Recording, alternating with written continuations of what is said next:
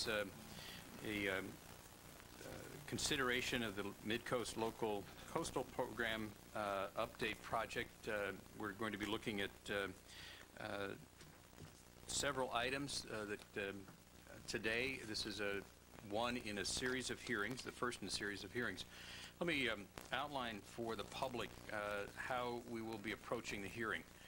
The, um, we're going to um, momentarily get a report uh, from uh, the uh, county planning staff. Um, Following that, uh, we will open the public hearing. Um, The uh, public testimony will be taken. Everyone will be allowed uh, up to two minutes uh, per person. There will not be an opportunity for somebody to waive their time for someone else. Um, The, um, at the conclusion of the public hearing, uh, the board will then consider each of the items uh, that um, uh, are on the task list for today, the key issues, and we'll make a tentative uh, decision um, on each of those issues. Um, and um, uh, with the understanding that when we get to the, the final step of this process, we will go back and pull together those tentative decisions uh, into a final uh, conclusion on the part of the board. Um, I also want to say that um, uh, momentarily, when we uh, do open the public hearing, um, at that point, if anyone wants to speak, you'll need to have your speaker slip in. Um, uh, At the point we open the public hearing, if you do not have your speaker slip in, uh, then you will not be able to speak. So if you want to speak, you need to get it in now. They can be placed uh, in the, uh, the box here or given to the clerk. The, um, uh, having said that, we'll ask Marcia Raines, our Director of Environmental Services, to, to introduce this item. Thank you, President Gordon. Uh, Two points I wanted to make. The first was that on your January 25th uh, board item, you requested a more comprehensive outreach program to occur regarding the details of these meetings. You suggested at that time as a Board of Supervisors entirely that we meet with a subcommittee, which consisted of you and Supervisor Hill, to discuss how to enhance noticing procedures. I'd like to inform you that we did meet, and as you're fully aware, we identified four ways to enhance the advertising. The first is the half-page ad that was placed in the Half Moon Bay Review. A copy of that ad is on the screen. Second, we identified a way to uh, continue the regular noticing that was uh, customarily provided, and as such, the San Mateo County Times had a notice of this hearing. Third, we talked about mailing notice to each of the participants in former meetings that had expressed an interest in being on our ever-growing project mailing list. At this time, that represents about 300 people, and we did mail out 300 notices. The fourth approach that was suggested was that we, in addition to our out, our customary items, that we would send a notice to property owners affected by a specific topic to be considered at any one hearing. For example, today you're going to consider lot merger proposals. As such, we sent meeting notices to all property owners whose parcels are candidates for lot merger. In other words, we did a focused mailing to owners of residentially zoned vacant parcels with substandard lots and common ownerships. Likewise, for future hearings, we will do focused mailings, such as owners of undeveloped non-conforming parcels would, that would be affected by the proportionality rule would receive notice. Owners of C1 zone parcels where residential use is proposed to be limited to above the first floor would receive a notice, etc. The second item that I'd like to talk to you about is when you met in January, you discussed a schedule of four hearings. The final of those hearings was planned for April 12th. We've taken a serious look at the items that will be required to prepare your packet and your information, and it is our recommendation at that, this time that the April 12th meeting be moved further out to April 26th in order to provide adequate time for staff to synthesize all the information and decisions you make and bring back to a complete package. With those two additions, I'd like to hand it over to George Bergman from the planning staff to make a brief presentation on all the issues that are before you today, and then, as you suggested, he'll sit down and you can open it up to public inf- public testimony. Great, thank you. Thank you, Marcia. George? Uh, Mr. President, members of the board, today's hearing focuses on the topics that are shown on the screen. These are Midcoast residential build-out, Midcoast infrastructure demand and build-out, Midcoast traffic mitigation requirements, also the number of Midcoast residential nonconforming parcels, the proposal for merging Midcoast residential substandard lots, and uh, limits on impervious surface controls and winter grading.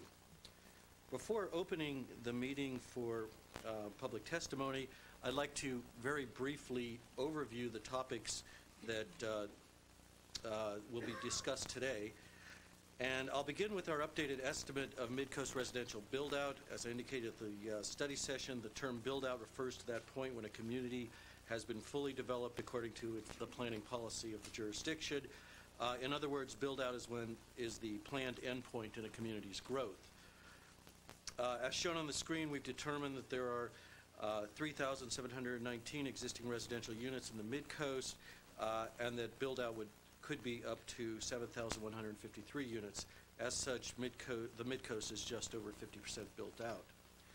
The Planning Commission raised concerns about the unknown number of existing second units in the community, and um, these would be units that have not gone through the county's permitting process for second units. As such, the Planning Commission rec- also recommends that your board direct staff to develop a program to identify these uh, yet to be permitted, or sometimes called illegal second units, uh, and then take measures to facilitate their legalization. Uh, Next, I'm going to very briefly discuss infrastructure demand in the Mid-Coast. Uh, That is, how much water, sewer, and roadway capacity will be needed to serve the LCP build-out, the Mid-Coast build-out according to the LCP. Uh, First, we'll look at the Coastside County Water District, which serves Miramar, Princeton, and El Granada. Uh, When comparing the district's existing capacity with projected demand at build-out, we found that absent any improvements um, or new water sources, there would be a 9% shortfall at build-out. I should note that these numbers assume annual average demand and not peak day demand, which typically occurs in the hot days of summer. In this regard, the Coastside County Water District reports that it has taken measures um, to respond to peak day demand, such as water storage impoundments for when there's a increased need. Uh, Next, we took a look at the Montara Water and Sanitary District, which generally serves the area north of El Granada up to, uh, up to Montara and the urban rural boundary. Uh, When comparing the district's existing capacity with projected demand at build-out, we found that absent any improvements or new water sources, there would be a 46% shortfall at build-out. Um, The, I, I would like to note that the district is actively looking for new water sources. There are limited resources in the area, but they are looking for uh, both uh, groundwater and uh, surface water sources. With regard to wastewater treatment, um, the local wastewater treatment service provider in the Mid-Coast Sewer uh, Authority Mid-Coast Side, or SAM, which operates its treatment facility serving the Mid-Coast, but the facility is in Half Moon Bay. Uh, We've determined the Mid-Coast demand, the Mid-Coast demand for wastewater treatment and build-out will be approximately 1.61 million gallons per day, while SAM's existing treatment capacity is 1.71 million gallon, million gallons per day, and this represents a 6% treatment capacity surplus at build-out. I should note that there's a distinction between dry weather flow and wet weather flow, and as such, staff, excuse me, SAM has recently made major tank and pump station improvements to assure that this excess is not consumed by wet weather flow during the rainy season. Before moving on, I'd like to note that at the study session, when we last met, Supervisor Church had requested that staff research the number and location of known individual wells in the Mid-Coast. And uh, in response, uh, we've done a little research and we've determined, principally from the first edition of the groundwater study report, that uh, 539 wells are definitely known to exist and have been mapped.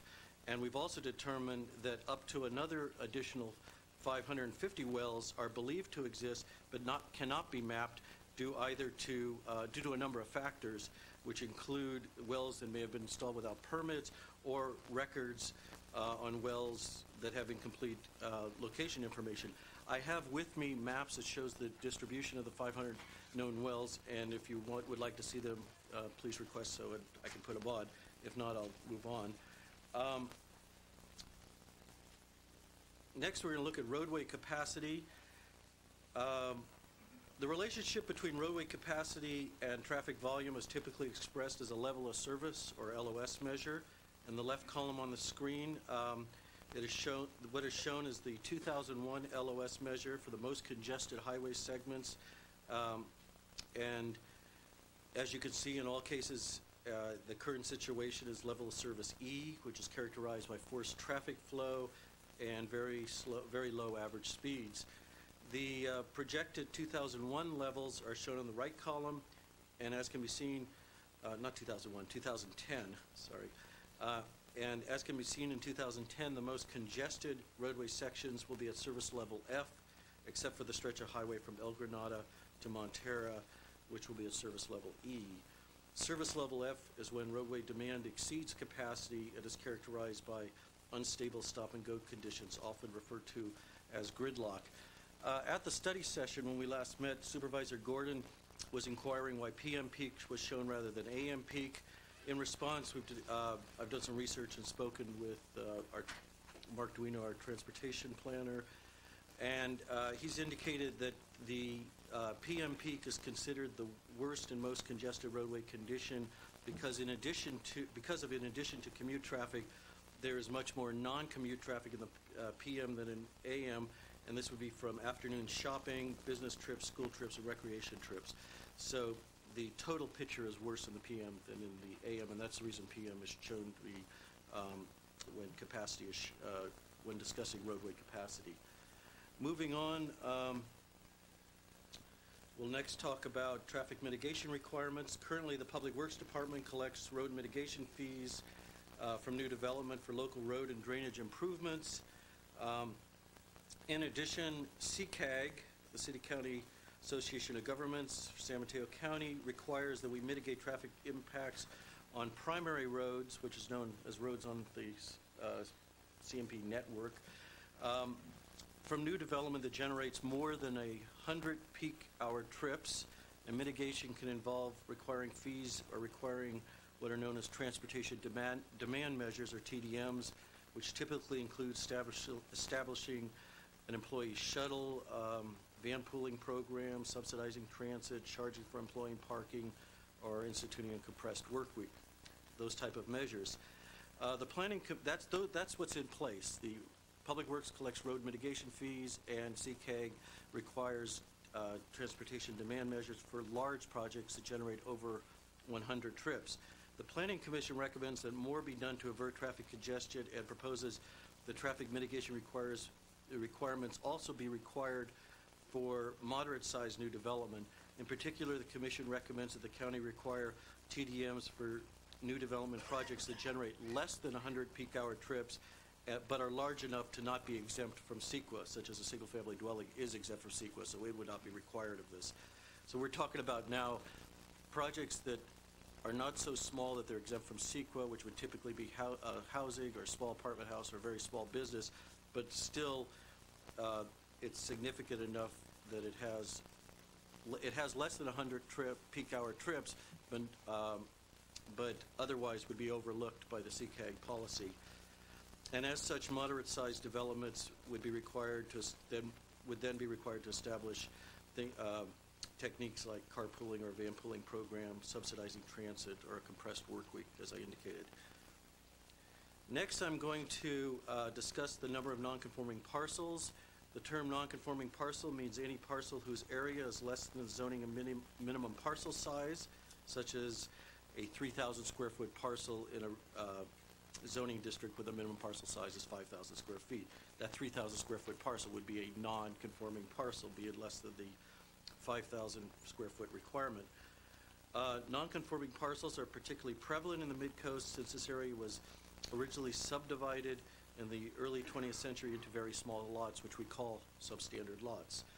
As shown on the screen, we've determined that there are approximately 4,900 residential zone substandard lots, and about a third of these occur as vacant parcels, and about two-thirds occur as developed parcels. By focusing on vacant parcels, we see that there are approximately 1,600 undeveloped residential zone substandard lots in the mid-coast, and these lots are currently organized into different sized parcels as shown in the, on the screen. Um, 271 of the lots occur as a one-lot parcel, meaning that one owner only owns that lot and no land around it. Um, 944 of these lots are grouped into two-lot parcels. That means there is, that two very small lots are owned by one person who most likely intends to build a house on the two of them uh, in, at, at some point in the future.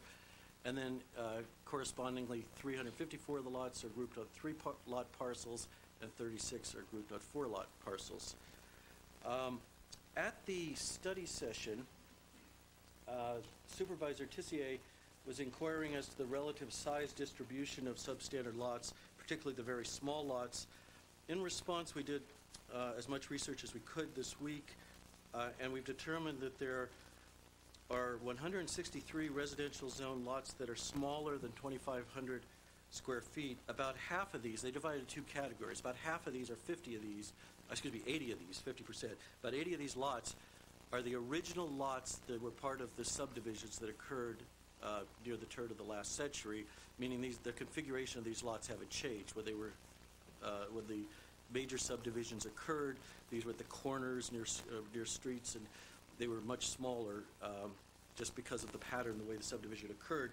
And we've uh, looked at the size, and for this group, size ranges between 1,020, the smallest was 1,025 square feet, and the largest was 2497, just short of 2,500. We were focusing on less than 2,500 square foot lots. Now, the other half, which would be 83 of the lots, these were lots that were reconfigured or reshaped after the original subdivision by any number of re- uh, reasons. Um, they could be, we saw that some were cut off because Highway 1 came into existence. Uh, Some were created because roads were abandoned and people just put lots in the middle. They created their lots. And then there were just different deed transfers that occurred and people created bits of property before we had zoning, uh, before we had zoning and planning departments. So for these 83 lots, the, um, the range is broader and it goes um, from 100 square feet to 2,400 square feet. So just to recap, for the, I think the area of concern were the very small lots. For the slots that were less than 2,500, there were approximately 163. Half of them were products of the original subdivision, half came about from other reasons, and they range in size um, in the former category from about 1,000 to 2,400 square feet, and the other one getting down very, very small. Um, Moving on to merger, I believe. Yes.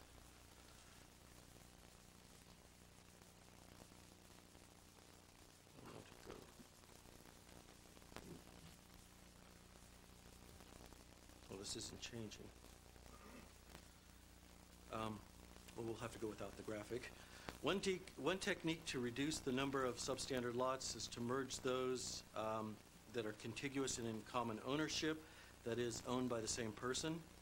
Without parcel merger, property owners could legally sell off the substandard lots, thereby creating building sites that have uh, not been planned for or counted in the projected build-out.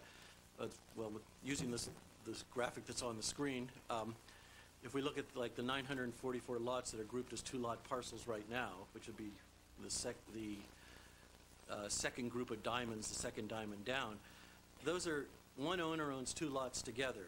That typically, you would expect the person to build a house on the two lots. It's a standard-sized parcel, parcel in the typical sense. But there is uh, no control in place now that would prevent the owner from selling off those individual lots that, and then subsequent owners could come in and apply for two houses on what is envisioned and planned for to be one parcel.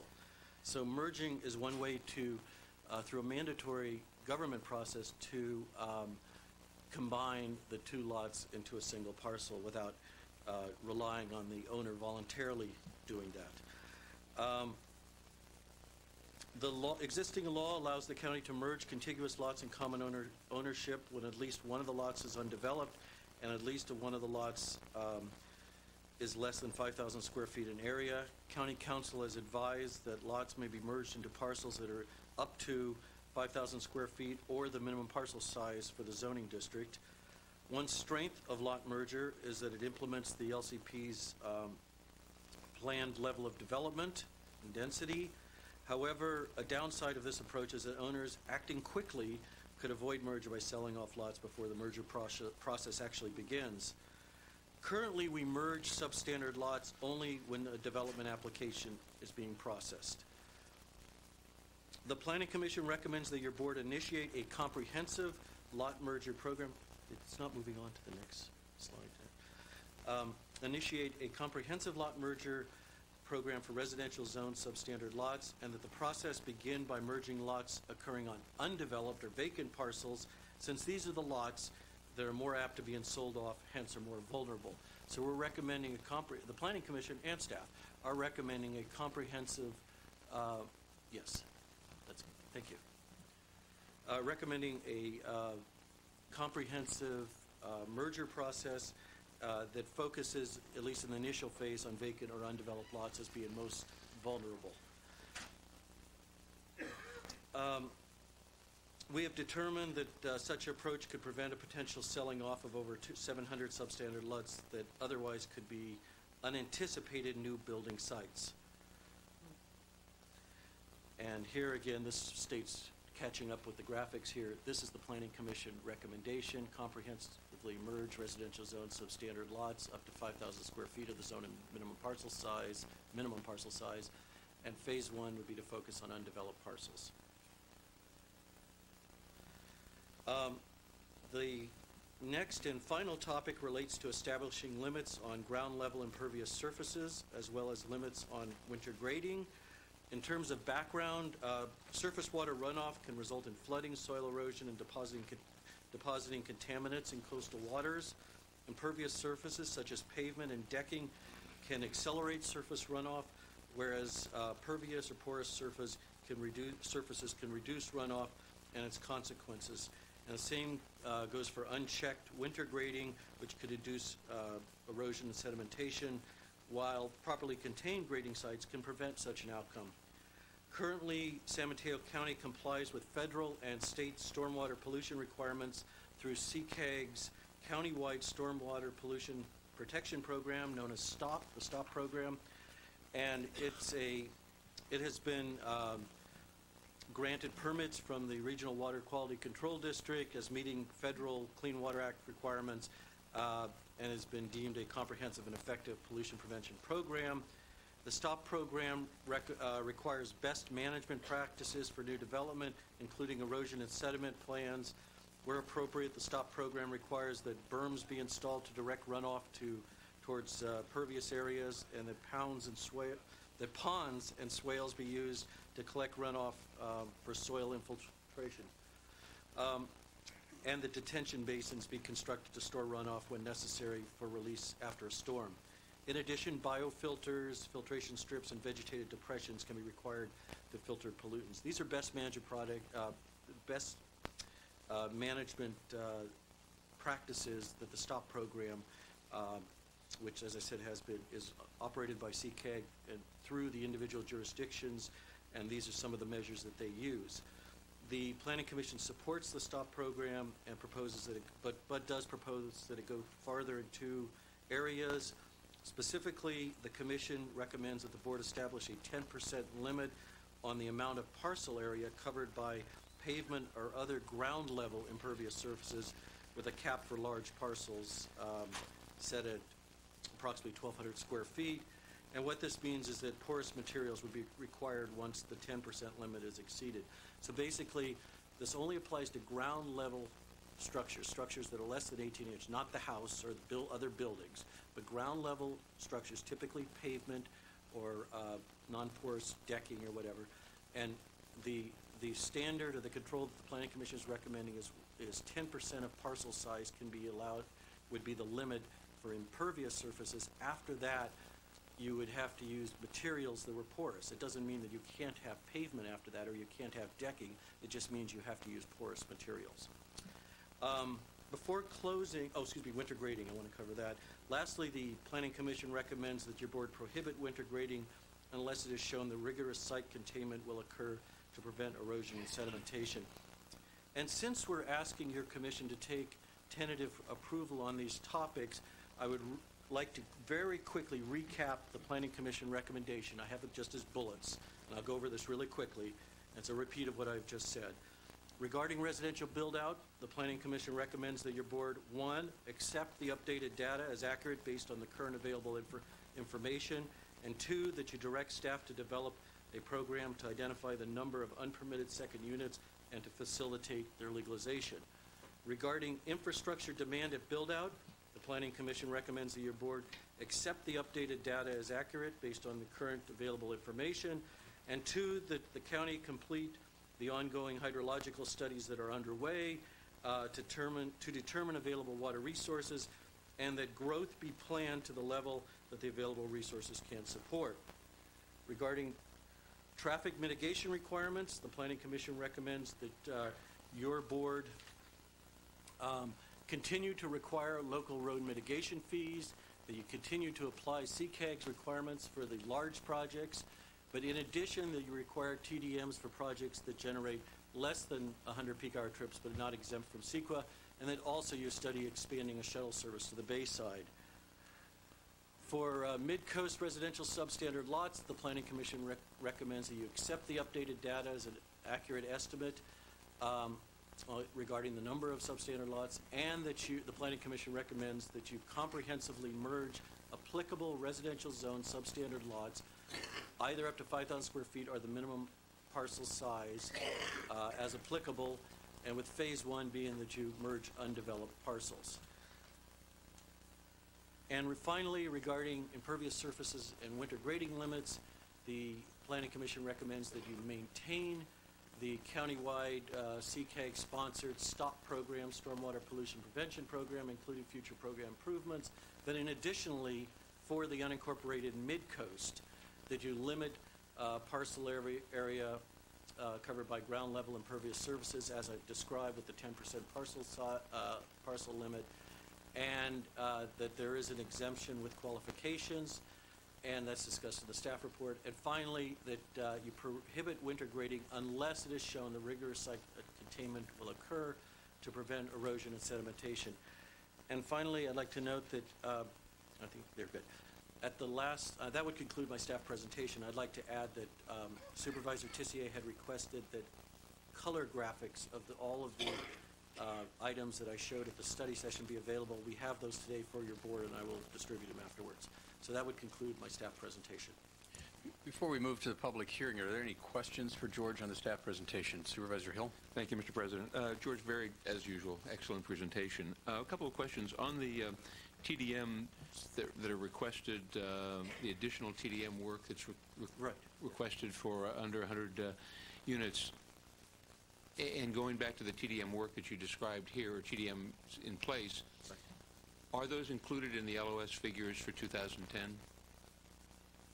So are are the current LOS question, right.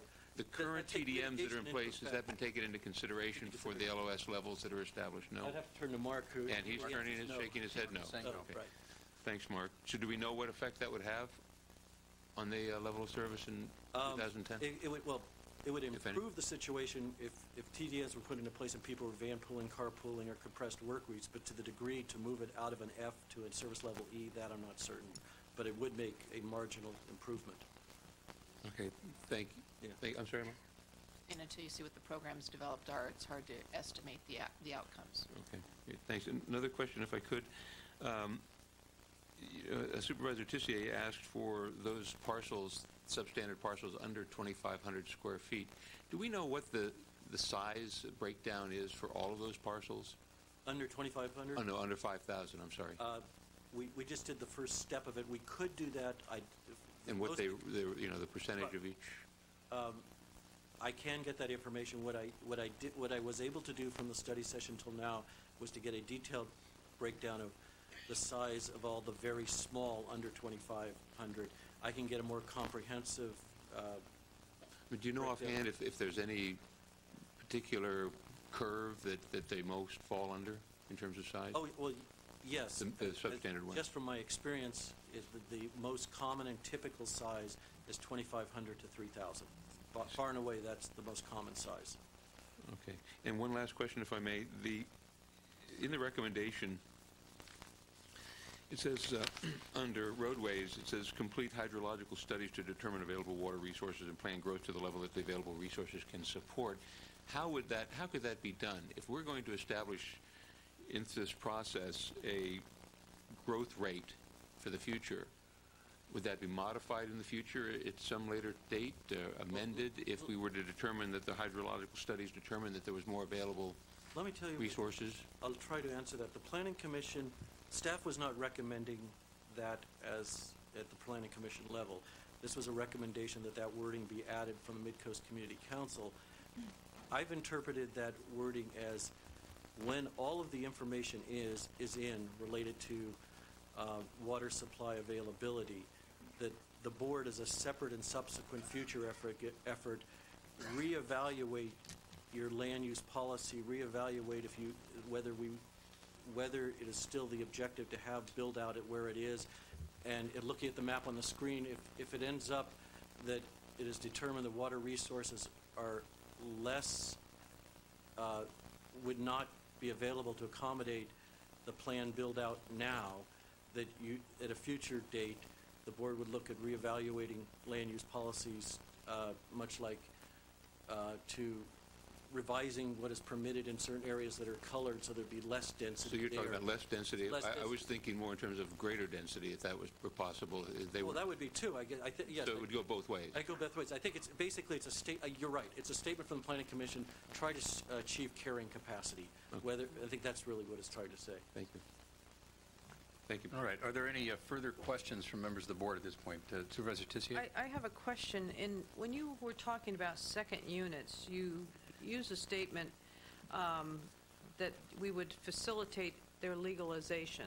Yes. In what manner? Was there, are we being specific in that, or is that just a broad Well, the direction is that we would develop a program. The way I would envision the program, and I think the spirit uh, is communicated by the planning commission, is that it not be punitive, the, in terms of like an amnesty program, it's not that we weaken the rules or requirements for second units, or the code, or building code or planning requirements, but we don't establish fines because people didn't come in up to this point. We, what we would do is we'd provide opportunities and incentives for people to come in and get on, and apply for the permit. They'd be subject to the same regulations that people who have done it uh, up front previous to this.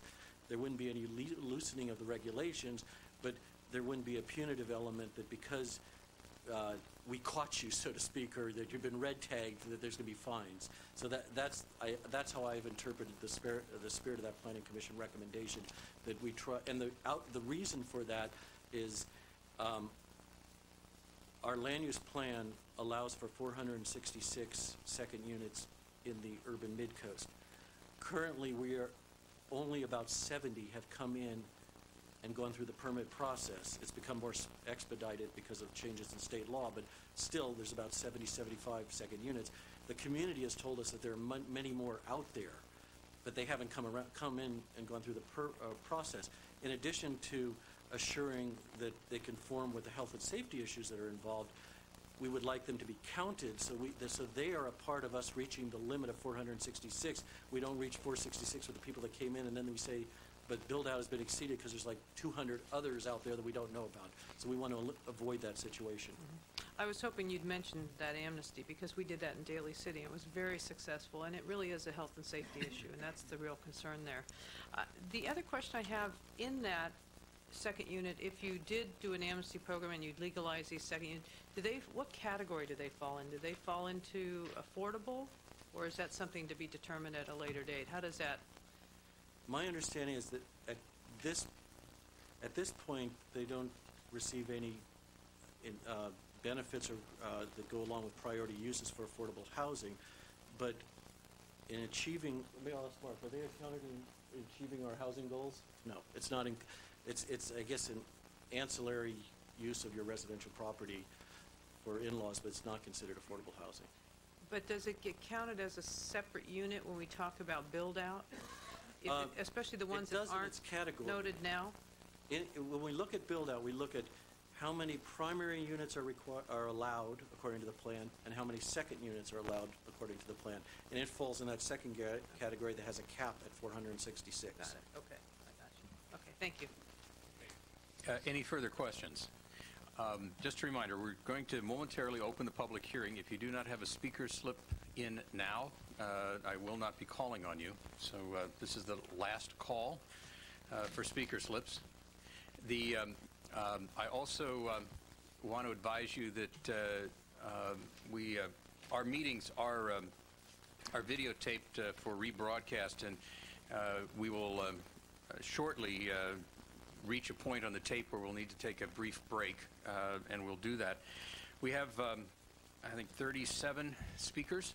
Uh, everyone will have two minutes, um, and um, I'm going to call two names at a time, and if the, the second person would be uh, ready to uh, to be at the microphone immediately following the first, that would be helpful to, to move us along um, so that sometime today people can have lunch. Um, the uh, public hearing is now open, and the first speaker is Dave Byers, to be followed by Jeff Peck.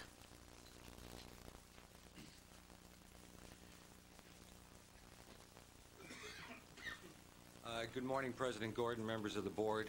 Uh, Dave Byers on behalf of two clients this morning, CPALS and the California School uh, Employees Association. I'm going to be very brief because I only have two minutes. The CPALS project is an office park combined with a live-work space for developmentally disabled and delayed adults. There's one particular policy in this plan that could prevent that project. It's the impervious surface policy. If you look at the background material on pages 62 to 72 of the handout that came out the last time we were here, for every zoning district, the planners had the exact same language. Impervious surface cannot exceed 10% or 1,170 square feet, whichever is less. There is one M1 parcel in the coast side. That's where we want to put the office park. It's 15 acres large. If you took 10% of 15 acres, you could have 60,000 square feet of parking. This ordinance would only allow you to have 1,170 square feet of parking. You can't park an office park with 1,170 square feet of parking. I would ask you to exclude the M1 zone from the impervious uh, rule. The second thing with regards to California School Employees Association, they own something called the North Beach Affordable Housing Site. I have no idea if this impervious surface rule would have a negative impact on that affordable housing site. The reason is that site happens to be zoned PUD because of the last time when the board did approve a tentative map. But I do believe it's possible that that could have a negative impact on the affordable housing site owned by the California School Employees Association. So I would like you to have the planners check that particular issue. The final comment I'd make is simply that merging the lots in the coast side will not promote affordable housing. Thank you. Okay, thank you. Um, Jeff Peck, to be followed by Ann Carey. Sir, I'm sorry you're too late.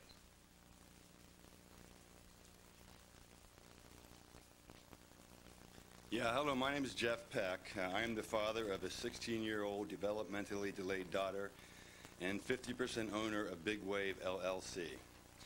I'm here to ask for your support of a project, Big Wave, that is crucial to the 80-plus families with developmentally delayed children on the coast side. Big Wave will provide the environment to encourage DD adults to become truly independent and self-sufficient. It will provide the DD adult community affordable housing, employment opportunities, equity building possibilities, a learning center for continued education, and exercise and recreational facilities geared to the special needs of DD adults. On the commercial side, what will fund this DD community, Big Wave will provide clean, high-paying jobs locally in an aesthetically pleasing campus environment. Although there are several proposed LCP am- amendments that could severely affect Big Wave, there are two issues about which we are particularly concerned. One is proposed restriction on residential permits. If adopted, these restrictions could stop this project dead. The other concern is the airport overlay, overlay restrictions. In its present state, the LCP has severe restrictions on building within what I think is 145 feet, uh, 145 feet of airport road. Such an extreme regulation kills the effective use of six acres of big wave property. That's six acres we otherwise could use for a gymnasium, a community center, a greenhouse, usable open space, assembly plants, and office buildings. So, during your decision-making process, please seriously consider how your decisions will affect the success of this project. Keep in mind how important this project is to the de- de- developmentally delayed children, to their parents and families, as well as to the broader community. Reject the proposed reduction in building permits that could kill this project. Remove the existing airport overlay regulations. Uh, I think together we can build something that's very special for our extremely special children. Thank you, Mr. Peck. Uh, We will be taking up those items at a separate hearing uh, on the airport overlay and the uh, residential in Princeton. Ann Carey to be followed by uh, Lance Castle. Good morning, President Gordon and honorable supervisors. I would like to touch on two points. Uh, The first is in infrastructure capacity at build-out. My concern is not with the data. My concern is with the, um, that nowhere do we discuss potential improvements to infrastructure. The data that's presented to you today compares the demand for infrastructure at build-out to present-day supply without any mention of potential improvements to infrastructure. We know that today we have certain inadequate infrastructure, yet the growth rate over the past years, uh, 20 years, has only been 42% of what has been allowed. And so at the future meeting, the LCP update does analyze the growth rate, but nowhere does it analyze the need and ability to increase infrastructure capacity. The improvement of infrastructure is of great importance to all of us. In regards to comprehensive lot merger program, in addition to comprehensive lot merger, there are other ways that the county preserves planned build-out and density. For example, the board has enacted an extremely successful incentive policy for voluntary merger, which has resulted in almost all of the lots being merged in the East Miramar area. Changes to public works policies could greatly further the county's success in preserving build-out. For example, Granada Sanitary District will only grant at most one sewer permit every six months to non-conforming lots. Although this policy creates a market for merged and conforming lots, it also limits the ability to build on conforming parcels, especially those with orphan lots or those who have purchased the lot as a more affordable alternative. Thank you. Thank you. Uh, Lance Castle to uh, be followed by Joe Chamberlain. Thank you, President Gordon, and Board of Supervisors. I'm a life, lifelong uh, coastside resident. I'm a fourth-generation builder on the coast. I was present here uh, January 28th with the information provided to us. Um, and I appreciate the studies given us to us, the biological studies. The, in my opinion, a skewed report on on what's necessary.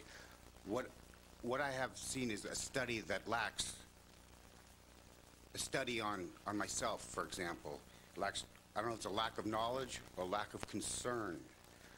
But myself, I live on the coast, earn my living on the coast, go to school there, coach my children in sports.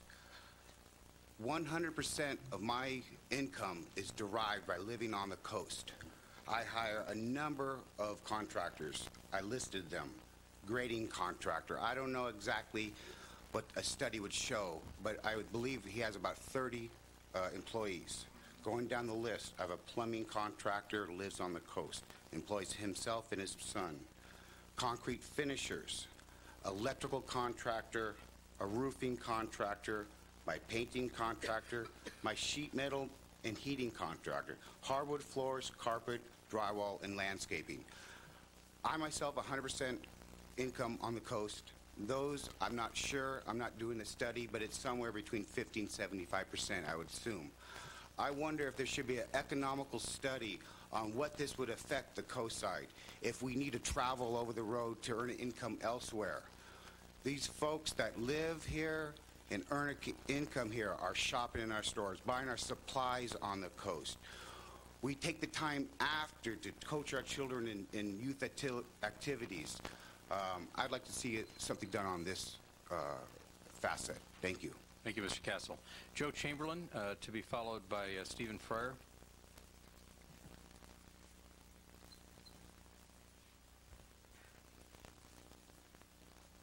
President Gordon, honorable supervisors, it's a pleasure to speak with you. About the um, Planning Commission's recommendation for this segment of the LCP, and I would like to speak in favor of it. I live in unincorporated San Mateo County, Lobitos Canyon, which, while it's south of this particular area, is of course impacted by anything that occurs because of the, tr- the traffic corridor and the impact on the overall community. One of the, it took me 30 years to move to the coast because it was such a beautiful place and I wanted very much to live there. And I know and I recognize and honor that the reason the coast is the condition that it is, which is rural with not high density development, is because it really is a resource for the entire county. And we certainly see this when we talk about recreation is the term I think we normally hear used.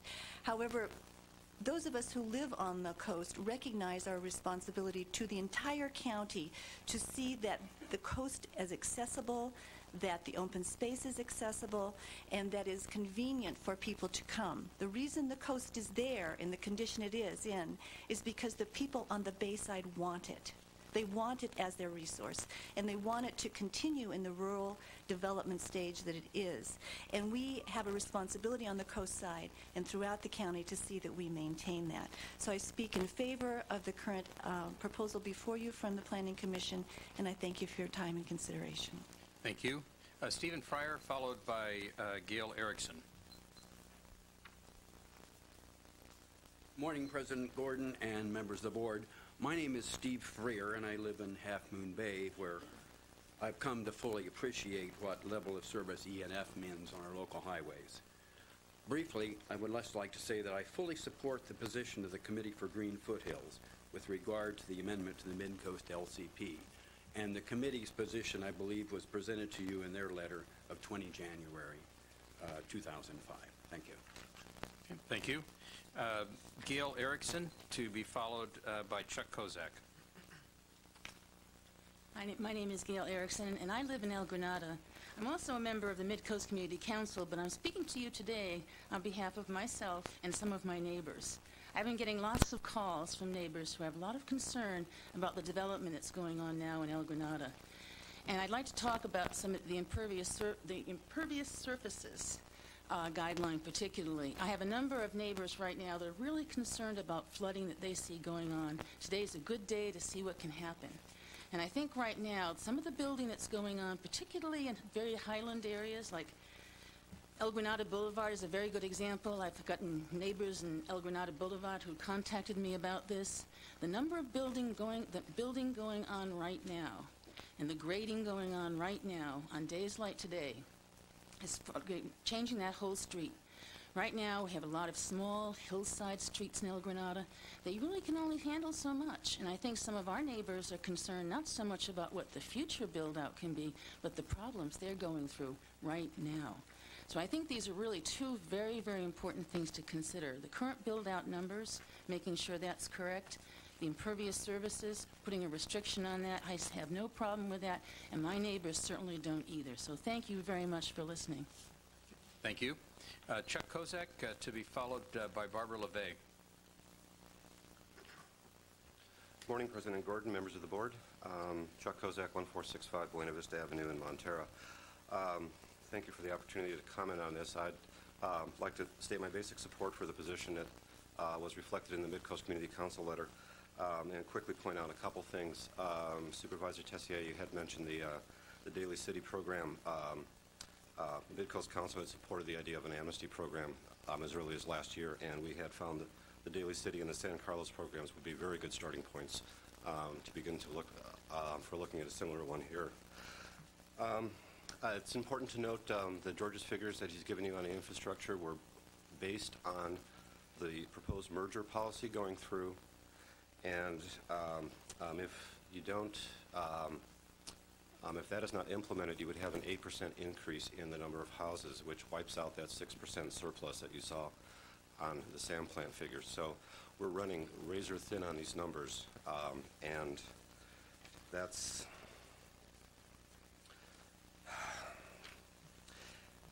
if the identified unmerged and undeveloped parcels were developed, that would be 800 more water connections that we don't have. That would be 1,600 more cars on roads that can't handle them.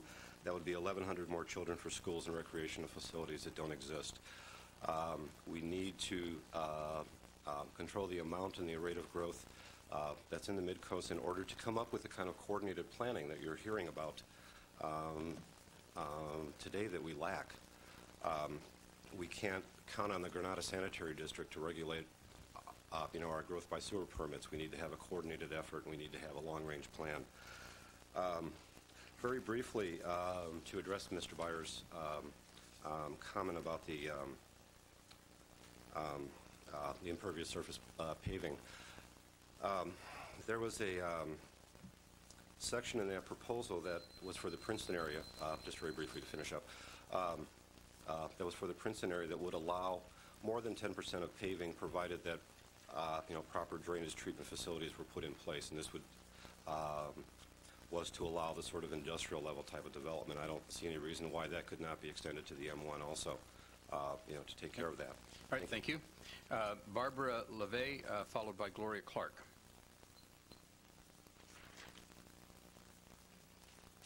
Good morning. I'm Barbara LeVay. I'm with Coldwell Banker out of Montara on the coast. I'd like to discuss three points to the calculation of the residential build-out. My first one is as many as 700 units of housing are not accounted for in the proposed build-out figure of 7,153. This build-out number automatically assumes that the Board of Supervisors will force mergers of non-conforming urban and rural parcels.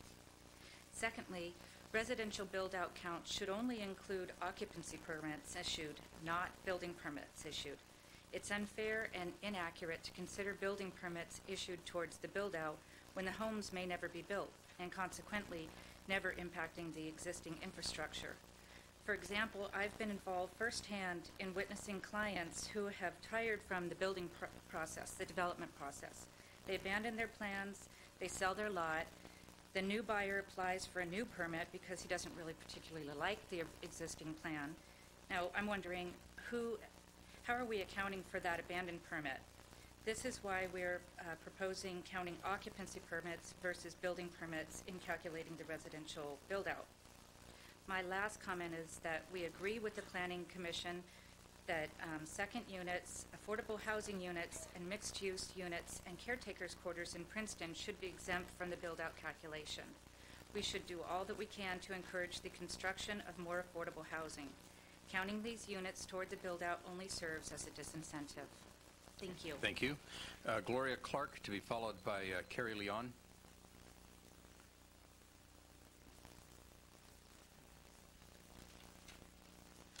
Honorable Richard Gordon and uh, supervisors, I'm here to talk to you about affordable ho- housing and second units. Um, First of all, that's a very big, important uh, criteria that we need on the coast. And I want to also say that affordability is also compromised by all the layers of government that people have to go through in order to build. Uh, Not only for the person who has to go through all the different departments, but the cost of time that it takes to get something built in this county. Whether you call them second units or granny flats or in-laws, they are undeniably an invaluable asset for families and homeowners in the community and a source of permanently affordable housing. Right now, to get a legal second unit, you need another sewer connection, and that's about a $17,000 item. Second units provide, promote closer family relations by allowing families to have their elderly parents live with them, or now, with high rental costs, adult children are able to uh, live there in a slow economy.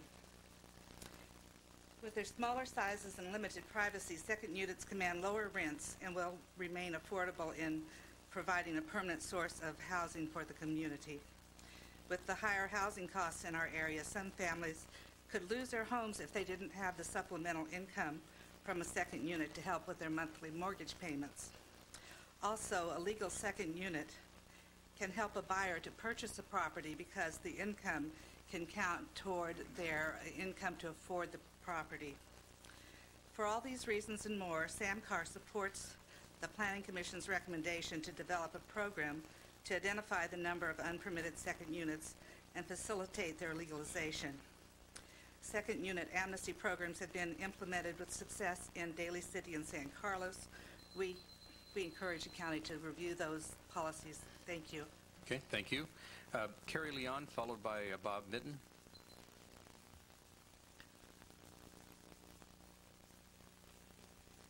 Hello, President Gordon and honorable supervisors. My name is Kari Leone. I've lived in El Granada now for three years. I moved from the coast of Oregon, and I wanted to talk about the infrastructure demand at Build Out. Living on the coast, I've noticed that there are several health and safety concerns that need to be addressed. For example, the roads currently on Highway 1 and 92 even this morning, driving in the rain, there was the ambulance and the fire truck coming, and the cars were all parting, and there would have been accidents happening on the highway as people were doing their commute to work or taking their children to work. Also, I would like to see that the infrastructure needs and wants of not only the residents but also the workers that work on the coast and the tourists who come to enjoy our mountains and oceans also be taken into consideration. The specific inst- infrastructures that I'm talking about are the road, sewer, water, and the wells, and that we could do this through conservation and efficient management. Currently, to my understanding, is that um, Supervisor Gordon in an earlier meeting had mentioned that the water infrastructure assessments should also take into account other water sources such as on-site wells. We would like to have these counted into the current water um, sources that are available. In addition to, I want to address the private property rights.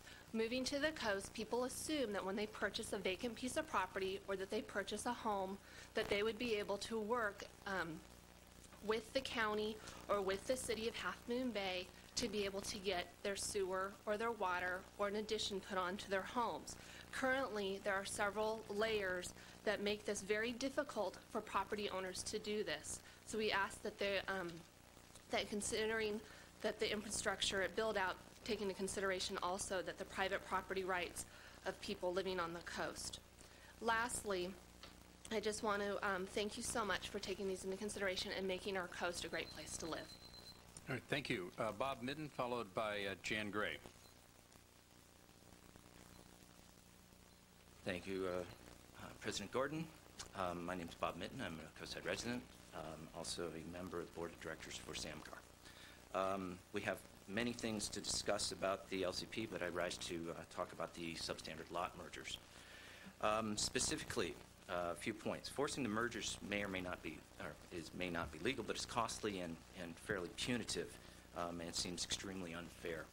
The, uh, as a former rural area, the Mid-Coast has been divided over many successions of uh, families, and the, uh, as each generation passes, the land passes on to their children. Um, there's no, um, the lots that we have that are substandard now were legal when they were subdivided, and they were downzoned ex post facto. There's no reason to penalize or punish the people that own those lots. Second, the proposal to merge parcels up to the zoning minimum size is punitive in our estimation. In areas such as Miramar and Seal Cove, parcels could be uh, forced to merge up to 10,000 or even 20,000 square feet, res- respectively. Um, even if a 5,000 square foot lot or, um, would be more than adequate to put a house on, and in some places such as Montara, and as some of the earlier speakers have uh, mentioned, a 3,000 square foot is fine for a uh, low to moderate income housing. Third, um, mergers have, should reflect the underlying parcel map. Uh, There are parcels that have been divided specifically in um, Miramar Seal Cove, but also in other areas, where uh, you will create essentially substandard lots, or you will have the merging of lots that will create, uh, uh, will be impossible to uh, build on, even if you force them. Um, Many of you are probably familiar with the nightmare that's going on in Half Moon Bay. I urge you not to repeat that. Um, Forcing the uh, lot mergers can create a can of worms for everyone. Uh, defining what uh, happens with title ownership and development credits is uh, going to be an issue that's going to be tough to track. So I would suggest that uh, you look at a, a more proactive approach of uh, creating a incentive program instead of forcing unintended consequences. Thank you. Jan Gray. Jan will be the last speaker before we take a short break. Good morning. My name is Jan Gray. I live on the coast and have since 1968. Seen a lot of changes occur over there. But where I'm speaking today on the potential merger of substandard lots. According to the staff, there are approximately 1,600 substandard lots. Some of these could translate into a needed supply of low to moderate income housing for people just starting out or people who are retiring and their income uh, would allow, I mean, the smaller house would allow them to remain on the coast. They, these would produce smaller houses, but there's nothing wrong with small houses. It does not devalue the neighborhood. It does not make the neighborhood come, uh, become anything other than what it already is on the coast. An amazing mix of large houses, small houses, etc. Smaller houses, like townhouses and condominium, are highly desirable because they allow young couples to build equity or single people to start on the road of home ownership. And they also are ideal for the empty, empty nesters and the senior citizens who no longer need a large house but yet want to remain on the coast where their roots have been established.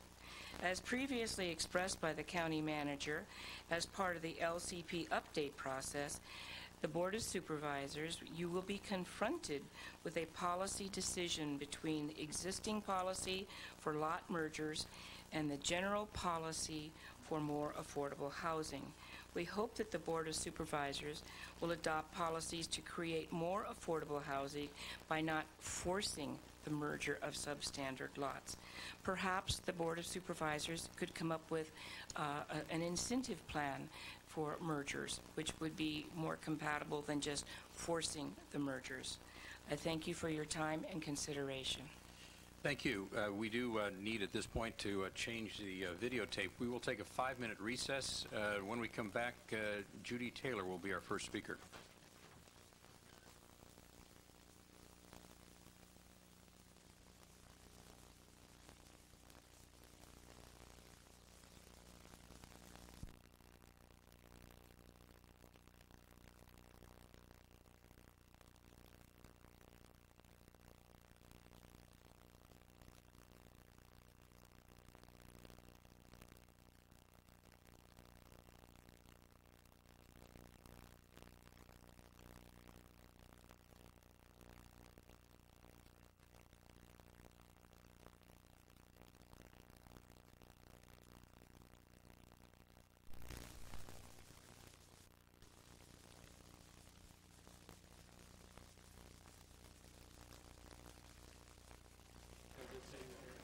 The, um, the first speaker will be uh, Judy Taylor, to be followed by uh, Michael Martin.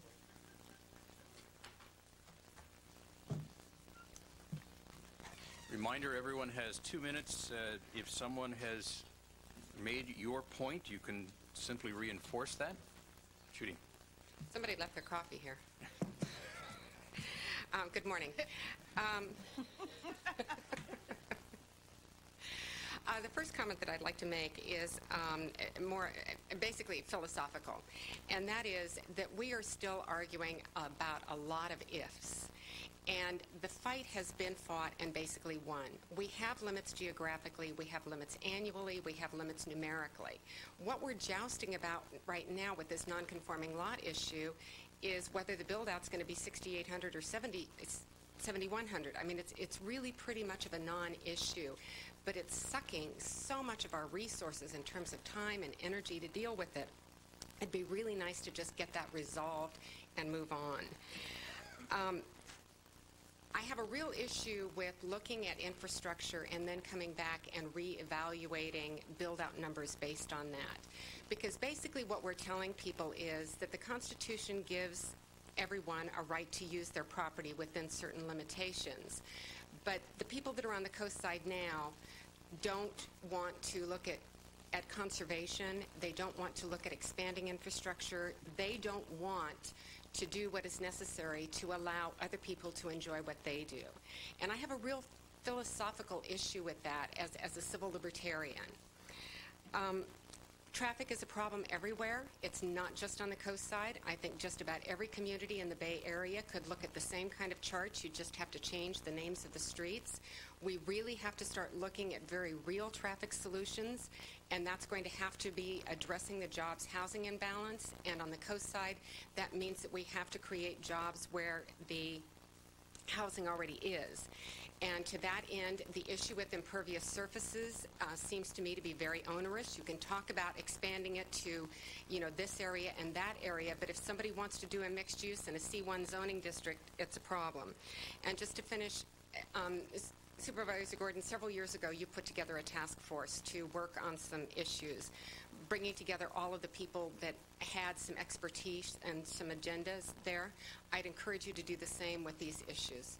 Thank you. Thank you. Uh, Michael Martin, to be followed by Mary Lou Williams. President Gordon, supervisors, my name is Michael Martin. I've been with Ocean Colony Realty on the coast for 22 years. Um, I'm here today to talk a little bit about the non-conforming substandard lots. I would like to encourage you to create a task force in which you could uh, determine factual, relevant understanding of the issue and come up with some incentives to create lot mergers using uh, right to build or transfer development right incentives to encourage those people to merge their lots. Um, I built a house on a substandard lot between two, in my business we call them buckets because they're not very nice houses, ill-kept, ill, ill-maintained, and both of the people tried to stop me by saying that I was going to ruin the neighborhood, and I, I won my right to build by showing the planning commissioners pictures of what was actually going on. Um, we need affordable housing on the coast, and some of these substandard lots, not necessarily all of them, but some of them would provide an excellent opportunity for smaller houses, for older people, for younger people, for single people, for people that don't have the, the income to buy our ever-increasing prices. Um, we need people to, we need our children to stay on the coast.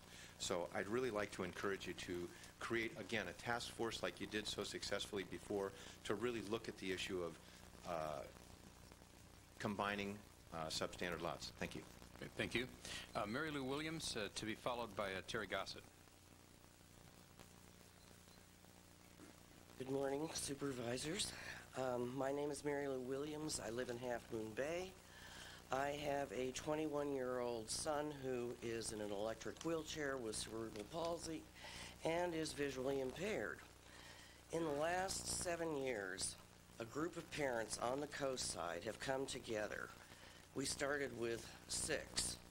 We are now a group of 85 strong families of disabled children on the coast side. Our group is the Coastside Parent Action League for Special Needs Children and Adults, or CPALS. So, Jeff Peck already described to you the project that he is interested in pursuing for the benefit of our children in the future. A live-work community, a recreational area, a place where the kids are safe. And one of the issues is obviously building permits, but this is zoned M1. The other one is the impervious grading or impervious surfaces. There is one thing to keep in mind about this project. Most of our children aren't drivers. Most of our children are not going to be driving cars. So that's an important issue, you know, when it comes to permitting this partic- uh, possible project. Um, I also understand that there's been talk of limiting things to one story. and I guess that's a whole different um, subject, but that certainly concerns me. Because the idea would be to build housing above retail workspace so that our children could actually live there and have jobs available to them, like, um, well, any number of ideas have come up. Okay, thank you. Thank you. Uh, Terry Gossett, uh, who will be followed by Mike Farrar. Hello, President Gordon and the board and the staff. Hello. Uh, I'm Terry Gossett from Moss Beach for Californians for Property Rights. And first, I wanted to thank you and the staff for increasing the public noticing. I think that's a huge step above the minimum required to notify the affected people. That's a big thumbs up. However, if you don't integrate their comments and hear them, look at your total plans, then that's a thumbs down. So keep the process going, keep the notification going. Now, let me tell you a little story. 15 years ago, there was an American Revolution. The world has caught on to it. 15 years ago, it was called the Integrated Product and Process Development. All big firms use it. The Boeing 777 was built that way. They take processes and products, the stovepipes, the technology, structures, engines, whatever, and they integrate them together. So what does that have to do with this LCP? Absolutely nothing. Because what you're doing, two weeks ago we had a process meeting. Now we're going to talk about six topics, six stovepipes, and then we'll do eight in two weeks and another eight. We need to integrate all that together into one whole thing. That's what we're hearing from the people as they speak today. Let me give you one example.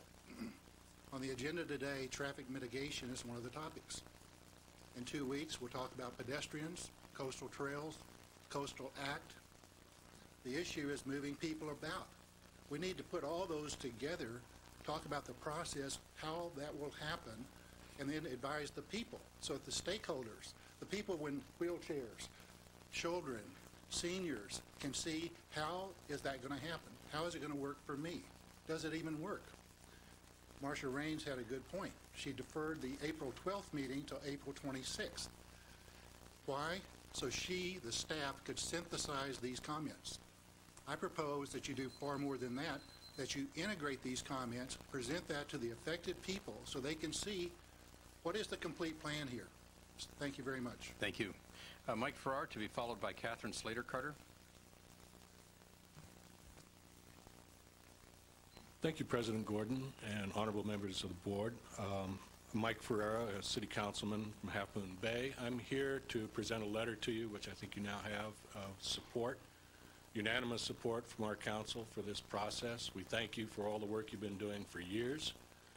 Uh, we, we, actually, I would like to tell you that sometimes I get phone calls from people that say, gee, you have to turn on TV and watch the Planning Commission. It's really good. These folks are really talking about real things and doing good work. I, uh, our letter goes into rather a bit of detail here. We, uh, I would just like to add that in the information that we saw before, we talked about condition F in year 2010. My strong suspicion is we're going to achieve that prior to 2010. I don't argue that we'll get there by then, but I think we'll get there a little earlier than 2010. And I would just like to, uh, to mention that the city of Half Moon Bay is very supportive of trying to work on our TA priorities as to the spending levels as to when we improve, particularly Highway 1, that might be helpful in that regard. Thank you very much. Thank you. Uh, Catherine Slater Carter, to be followed by Scott Boyd. Good morning, President Gordon, honorable members of the Board of Supervisors. Um, I am going to take one minute on each of two hats I'm going to wear. First, I've been in contact with the California Clean Water Action Group. Uh, it's a statewide group that works for clean water in the state of California. They asked me to deliver a letter, which I have done so. Uh, they support the Planning Commission recommendations. They are particularly concerned about the effects of um, polluted runoff into our estuaries and into our ocean. Um, because, as this, uh, George mentioned, we need we need catchment on our lots and so on to keep the runoff clean.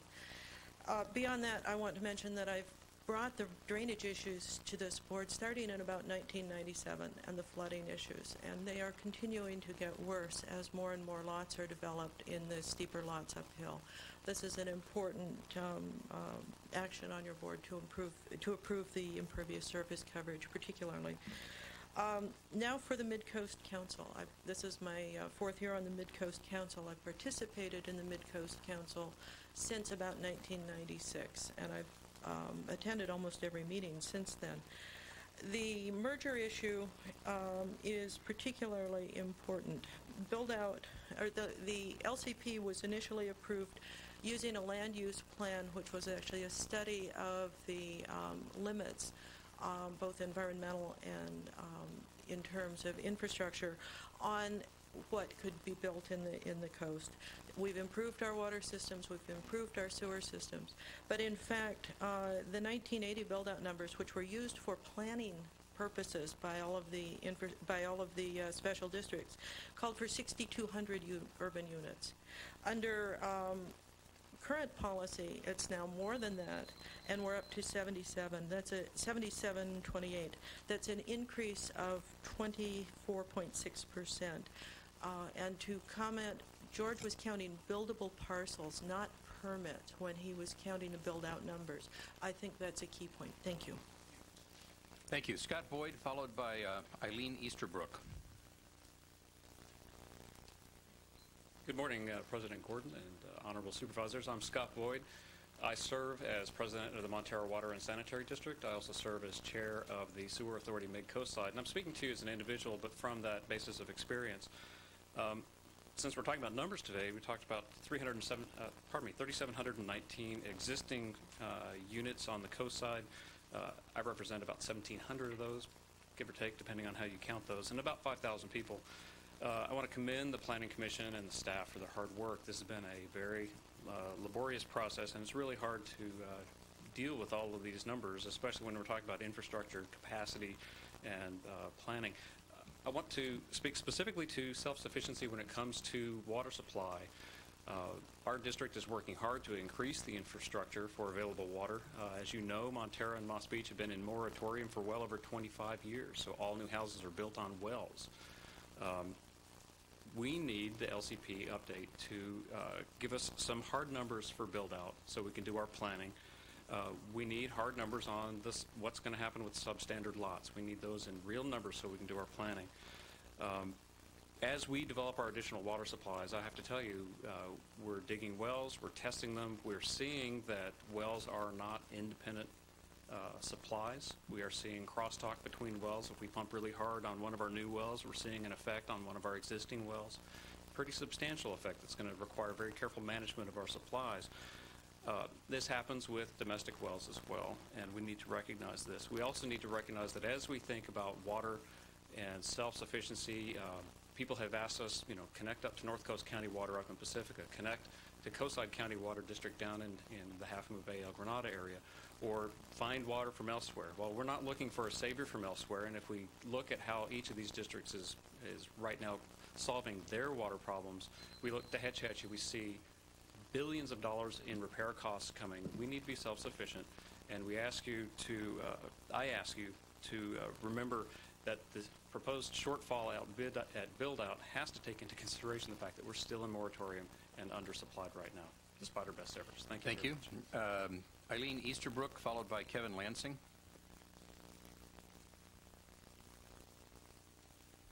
Hi, good morning. I'm Eileen Easterbrook and a parent of a developmentally disabled child, and I'm here to speak in behalf of CPALS. Um, I, one of the greatest concerns a parent has when you have a developmentally disabled child, of course, is where will that child live when I'm gone? It's not enough to put these kids in group homes because group homes open and close and they get moved from one community to the next community and friendships are broken and having to be redeveloped as they mature and go into their older years. We have a great opportunity on the coast with CPALS, with Jeff Peck's property that he is offering to develop a live-work residence community for the children, where they will be able to be owners of their own residence and will have a permanent place to live. I'm just here to support CPALS and ask that any of the amendments you look in regards to the residential permits or the airport overlay regulations wouldn't preclude this really important and progressive development from occurring. Thank you. Thank you. Uh, Kevin Lansing, to be followed by April Vargas. Good morning, uh, President Gordon and honorable supervisors. Uh, my name is Kevin Lansing. I'm a resident of Half Moon Bay. I'm also a member of the city's planning commission, although my comments here today represent my views as an individual. Um, First, I'd like to congratulate the County Planning Commission for the hard work they have put in on this monumental effort. Um, And for the most part, I agree with the Planning Commission's recommendations, although I hope the Board of Supervisors will consider adopting some changes that reflect the realities of current and expected future infrastructure capacity, both on the Mid-Coast and within the Half Moon Bay city limits. The first change I would like to see is a reduction in the number of residential units that constitute full build-out on the Mid-Coast. Under the Planning Commission's recommendations, full build-out will increase the number of residential units by 92%, essentially doubling the number of units that exist today. And this is likely conservative estimate given the good possibility that the number of vacant, non-conforming parcels has been undercounted. Even under the Planning Commission's build-out scenario, most of Highway 1 will experience level of service F from Pacifica to Frenchman's Creek as early as the year 20 th- 2010, even considering planned Highway 1 improvements that are in the pipeline. Montara Water and Sanitary District was well short of the needed capacity to serve projected build-out. The capacities of CCWD and the Sewer Authority Mid-Coast may be just barely adequate to service build-out, but may not be if one takes into account the likely growth of both residential and commercial demand for water. I'd also like to mention something which is not covered in the staff report, which is relevant to infrastructure, and that's how the build-out scenario is, is expected to affect the Cabrillo Unified School District, which is already suffering from overcrowding, antiquated facilities, lack of busing, and subpar academic achievement. It is true that the Planning Commission's recommendation to reduce the annual residential growth rate to 1% will help ease the overburdening of our, over, of our infrastructure. Nevertheless, a reduction in the annual growth rate that leaves the final build-out numbers unchanged will only postpone the day of reckoning when gridlock sets in for our community. Thank you. Thank you. Uh, April Vargas, uh, to be followed by Lennie Roberts. Good morning, President Gordon and members of the board. My name is April Vargas. I live at 377 12th Street in Montara, and I'm speaking this morning on behalf of Committee for Green Foothills. I wanted to make a couple of comments about an issue that's very important to all of us in this county, and it is affordable housing. Uh, the committee has supported um, the certification of the second units and the, the uh, efforts to bring those into compliance through an amnesty program. But we believe that in order to ensure that second units will be affordable housing, that the board will have to take direct action to ensure that this happens. Um, we all believe that this is a great opportunity to have affordable housing, but unfortunately, as we know, um, in this day and age with housing as expensive as it, as it is, unless something very specifically is done to ensure that these units are affordable, it's very possible this won't happen. Um, that same comment also applies to the discussion we've been hearing about the merger of substandard lots and some who believe that keeping smaller lots as building sites will encourage affordable housing. Again, I have to say, and I think that anybody who uh, visits the coast or areas around here will see, that there are houses on 2,500 square foot lots that are selling for over $700,000. So again, while we do support affordable housing, I believe that the board needs to realize that in order for this to really happen, that something more needs to be done than just making it possible for this to occur. And finally, um, I think in the same vein as what I'm saying that the board needs to take action is the fact that many proposals have been brought forward for years, we've been trying to live on the coast in a way that protects the area and also be responsible to property owners and, and private property rights. So now what the board needs to do, in our opinion, is follow the lead of the Planning Commission and actually enact some of these policies as an integrated group of proposals and policies that allow everyone to know what the rules are, why they're important, how they fit together, and how we can all work together to preserve the coast and um, the people who want to live there. Thank you. Thank you. Uh, Lennie Roberts, uh, followed by um, Gail Yoshimino. I hope I did that right, Gail.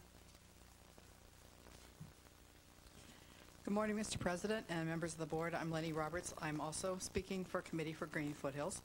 Uh, we are in support of the Planning Commission recommendations that you have before you today on the LCP sections that you're considering. Um, we, I wanted to particularly address the merger of substandard lots because I was around when the LCP was first done in 1980 um, after two years and 40 public hearings. And I think the most contentious issue for the Midcoast since that time has been the substandard lots and how the county can deal with them. It was never anticipated that those lots were going to be developed as um, individual substandard lots, and to not address the problem um, has really exacerbated some of the issues that we will continue to face in the future. So I do strongly support the recommendation recommendation of the um, comprehensive merger. And also, just wanted to make a comment that uh, a prior speaker addressed the fact that some areas, such as Seal Cove, have much larger zoning districts than 5,000 square feet. The reason for Seal Cove is that it is basically a geologic hazards park. Uh, Seal Cove fault runs through it, and there's um, major land um, subsidence occurring along the ocean bluffs. So the county enacted that larger zoning to um, help people who own lots there find a site on their lots where a house could be located. If you had a 2,500 square foot lot, you could probably not, in, in certain parts of Seal Cove, you could not build on that lot due to the restraint, the constraints of the geologic um, hazards. So the large lots there are very important, and it's important to merge um, the parcels that are in common ownership uh, as, as uh, the Planning Commission recommends. Thank you very much. Thank you. Uh, Gail Yoshimino, uh, followed by Gregory Off. Good morning. That was close. My name is Gail Yoshimine, and I live the, uh, in Half Moon Bay. And my son has developmental disabilities.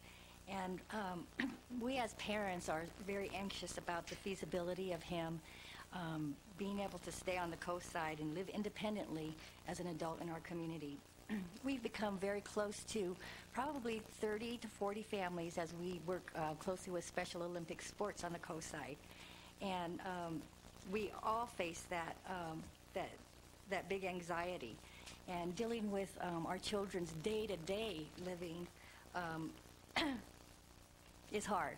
But looking at the future, it just feels like um, it, it's uncontrollable. It's overwhelming to think that our children um, can't live near us and in a community that, um, that, that can support them, where we've worked so hard to, for, for them to belong. And now um, there's a light that's come along in this vision, in this dream called the Big Wave, and with this organization of CPALS that allows us to have that kind of hope. Um, it's a project that's in motion, and you've heard about what that project is about. And I just feel that um, this is just such an important decision that can um, be a community and be a model in the world where um, our children can have a place where they belong and be and, and offer something to the mainstream community too. Um, so I just uh, urge you to be a part of this dream come true by reviewing these amendments carefully. And I entreat you not to pass any amendments that would make barriers to allow use of this land um, already zoned for development. And I thank you so much for your hard work and for your consideration. Thank you. Uh, Gregory Off, followed by uh, Kimberly Brennan.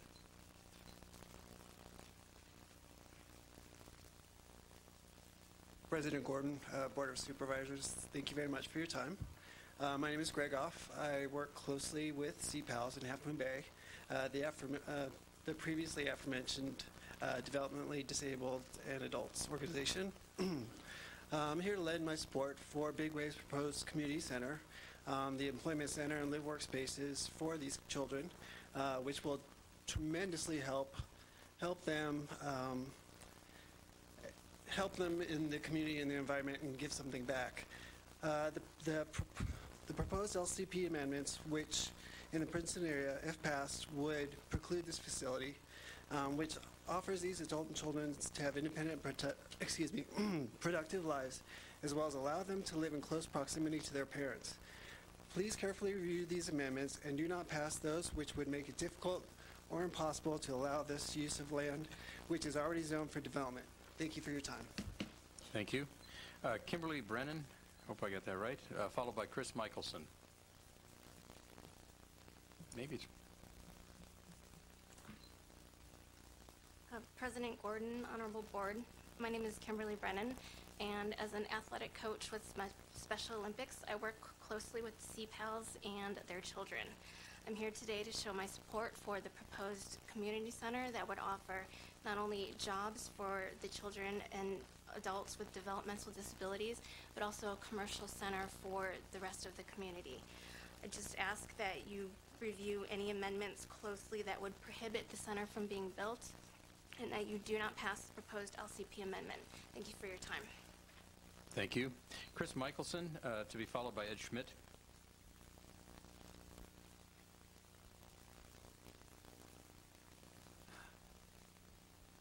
Good morning, President Gordon, honorable supervisors, uh, Chris Michelson.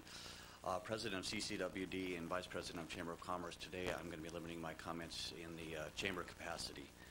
Um, from the chamber's perspective, it's, it's, it's unfortunate that it seems to be a foregone conclusion in this room that our roads will be at level F.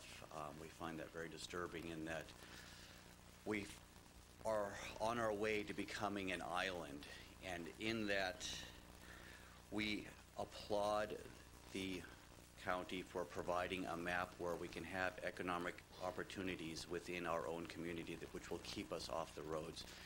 And any policy that would preserve such light industrial, commercial, office space uses, we strongly encourage in that there doesn't seem to be a solution coming forward to uh, provide us with, you know, an upward E, possibly even better uh, road scenario. Um, seems to be cast in stone here that we're headed towards that. It's just a matter of when, seemed to be the argument today. Um, so again, we would like to preserve economic opportunities, encourage you know, an updated map. I don't believe the city to our south has an updated map uh, showing economic opportunities. We really want to allow for viable opportunities on our coast to become more and more self-sufficient as our roads degrade. Thank you. Thank you. Uh, Ed Schmidt, uh, to be followed by Christina Lee.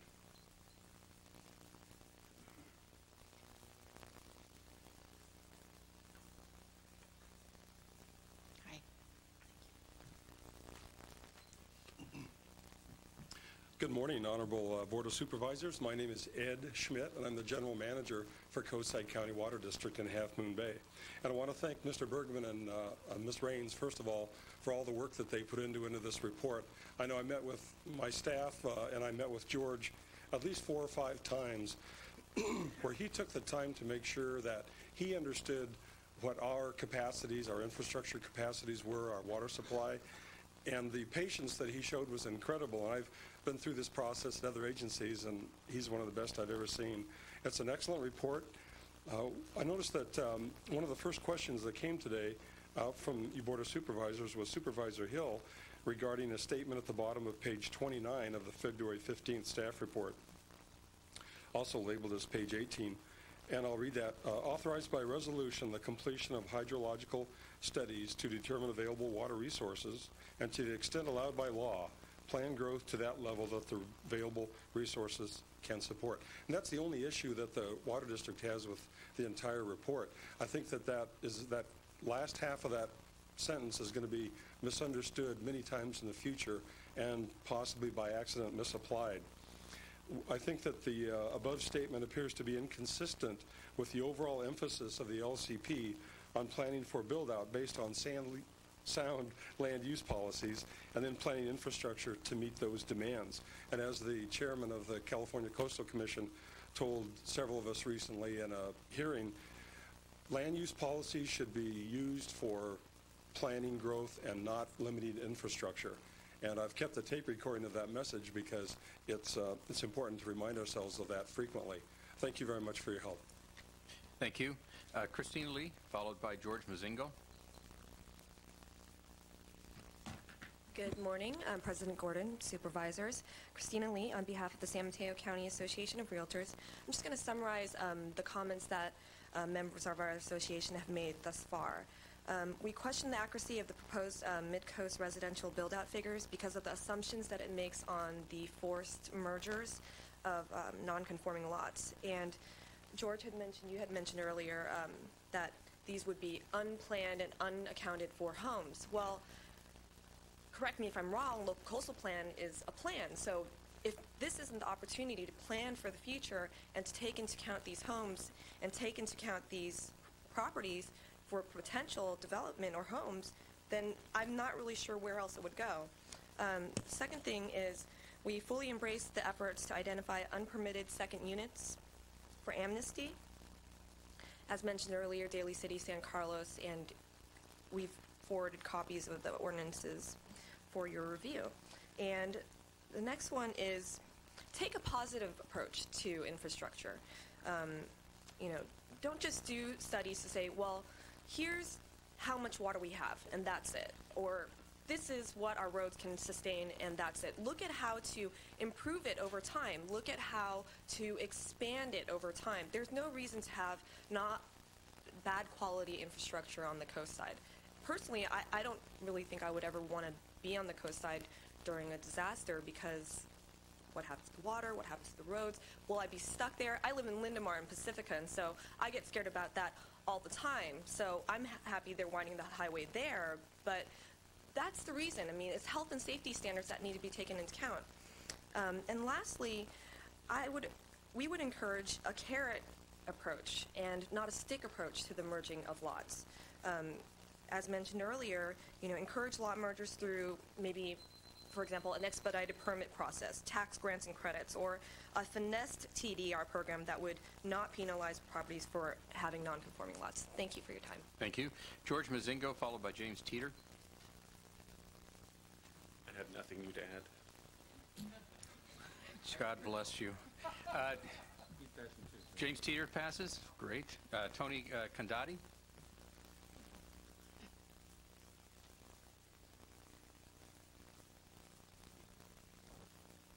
Good morning, Supervisor Gordon, members of the Board of Supervisors. Uh, I serve as the uh, District Legal Counsel for the Coastside County Water District. Um, I actually didn't intend to make a comment today, but I would like to follow up on something that was mentioned by Mr. Schmidt uh, in regard to the uh, statement on page 29 concerning uh, limiting new growth to the level that can be uh, made available by existing resources. Uh, The Water District has faced significant opposition on projects that it has brought forward recently to improve the safety and reliability of the coastside water system from uh, people who worry about potential growth-inducing impacts of new infrastructure. And it seems to me that the corollary to the notion that providing infrastructure has growth-inducing impacts is that in order to control growth by limiting infrastructure, you need a system that's inadequate. Otherwise, there's nothing else to prevent new development from occurring. Um, the notion that growth levels should be determined by an assessment of current water supply capacity uh, stands the idea of sound land use policy on its head. Uh, sound land use poli- policy should be governed by decisions about future growth and development, uh, and then water supplies should be planned to meet the level of development um, that is planned for. Uh, for that reason, uh, the district has a concern about the statement uh, that water resources should be limited to the, or that water, that growth should be limited to the level that is uh, provided by available resources. Um, That discounts the possibility of new and improved water resources to furnish growth that's planned for. Thank you. Thank you. Uh, Linda Sino, followed by uh, Juliet uh, Kulda.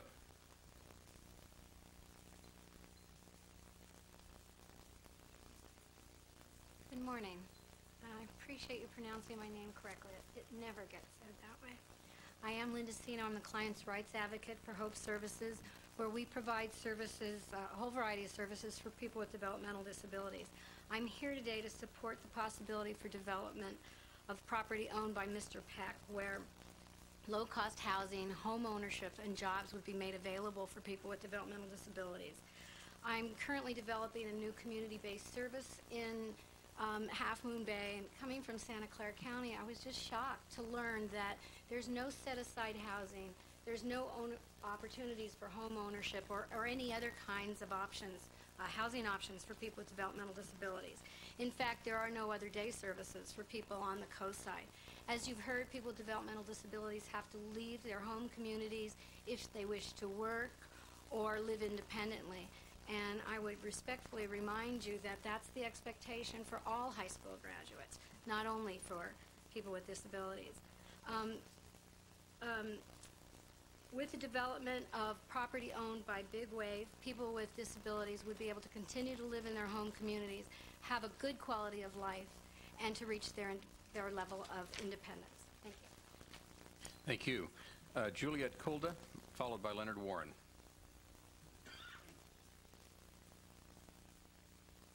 Good morning, almost afternoon, to all the supervisors here. My name is Juliet Kulda, and I live in El Granada. I've been part of the coast side there for over 10 years in the community there. I'm a real estate agent, and my husband is a contractor, and therefore I'm very in tune with many concerns of people that have vacant land and also are uh, building or trying to build a home on the coast. Barbara LeVay mentioned earlier that she has seen clients as a, she, she's also a real estate agent. She has seen clients get frustrated as they try to build a house and they end up selling their lot in basically in a sad way because they wanted to build a dream home there and they had to give up the process, mainly because of the restrictions and the complications involved. And these make things more expensive as we get more restrictions, more time.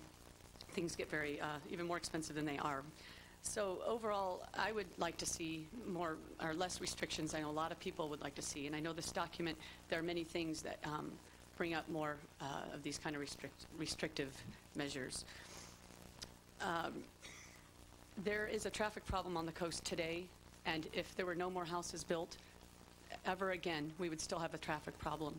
So I would like to see some of this energy. I wish we'd put more energy into handling the problem we have now with traffic um, as opposed to trying to think deceivingly that if we restrict the building, we're going to solve a traffic problem.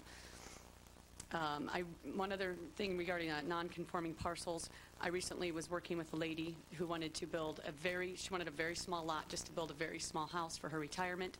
She, um, after a little bit of investigations, she realized it was um, too, she got very discouraged with the process and she gave up and she moved out of the area.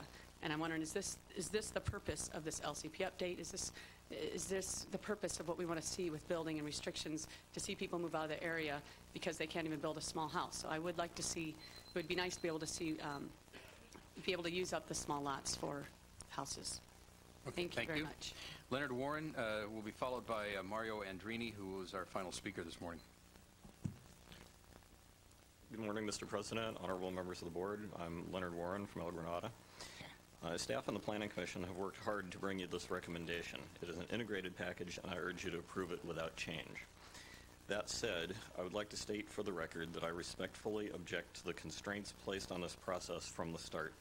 Instead of changing the general plan, the LCP, to match the zoning, proper planning and state law require the zoning to be changed to match the plan. When the land use plan and LCP were approved by the Coastal Commission in 1978 and 1980, it was with an understanding of a specified build-out population.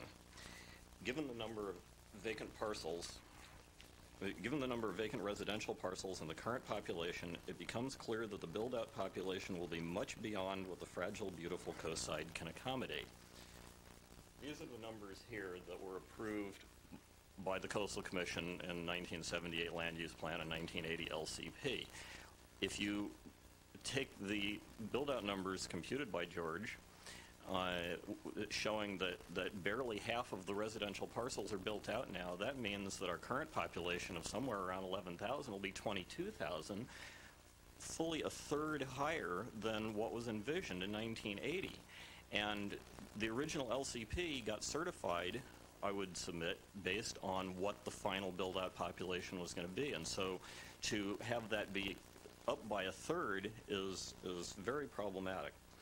Um, the, the purpose of an LCP update is uh, re, to uh, reaffirm the resource protections and the visitor serving attributes of the coast side by taking into account new knowledge. Uh, I would like to agree with Joe Chamberlain's comments at the beginning of the public hearing, and uh, I think CGF had good comments also. Uh, thank you for your consideration. Okay, thank you. Uh, Mario Andreini.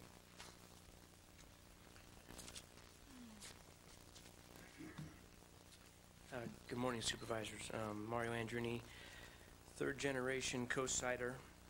Um, I oppose the LCP update. My family and I run a, a co-side construction business that we employ about 60 plus people. And if this goes through, it's going to affect them and their lives and their families. It's going to put more stress on the roadways. Um, if uh, there- there's more talk about stopping growth here and trying to restrict it, and you know, we should be talking about improving infrastructure and trying to make things a little better on the coast side. You know, um, mm, that's about all I have for now. Thank you. Thank you very much. Um, I'd like to entertain a motion to close the public hearing. So moved. Um, Are we closing or continuing? We're closing this, the public hearing scheduled for today. You're closing today's, that's all. So I have a motion and I have a second. Uh, All those in favor say aye. Aye. Aye. Okay, the public hearing is closed. Let me just remind uh, the public that um, we um, will, uh, we're going to do some deliberation now uh, and some discussion here. Um, The next public hearing on this item uh, is currently scheduled for March 8th.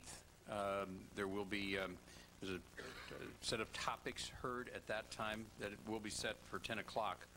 Um, And um, as we did today, you will need to be present uh, at 10 o'clock uh, to turn in a speaker's slip um, in order to be recognized.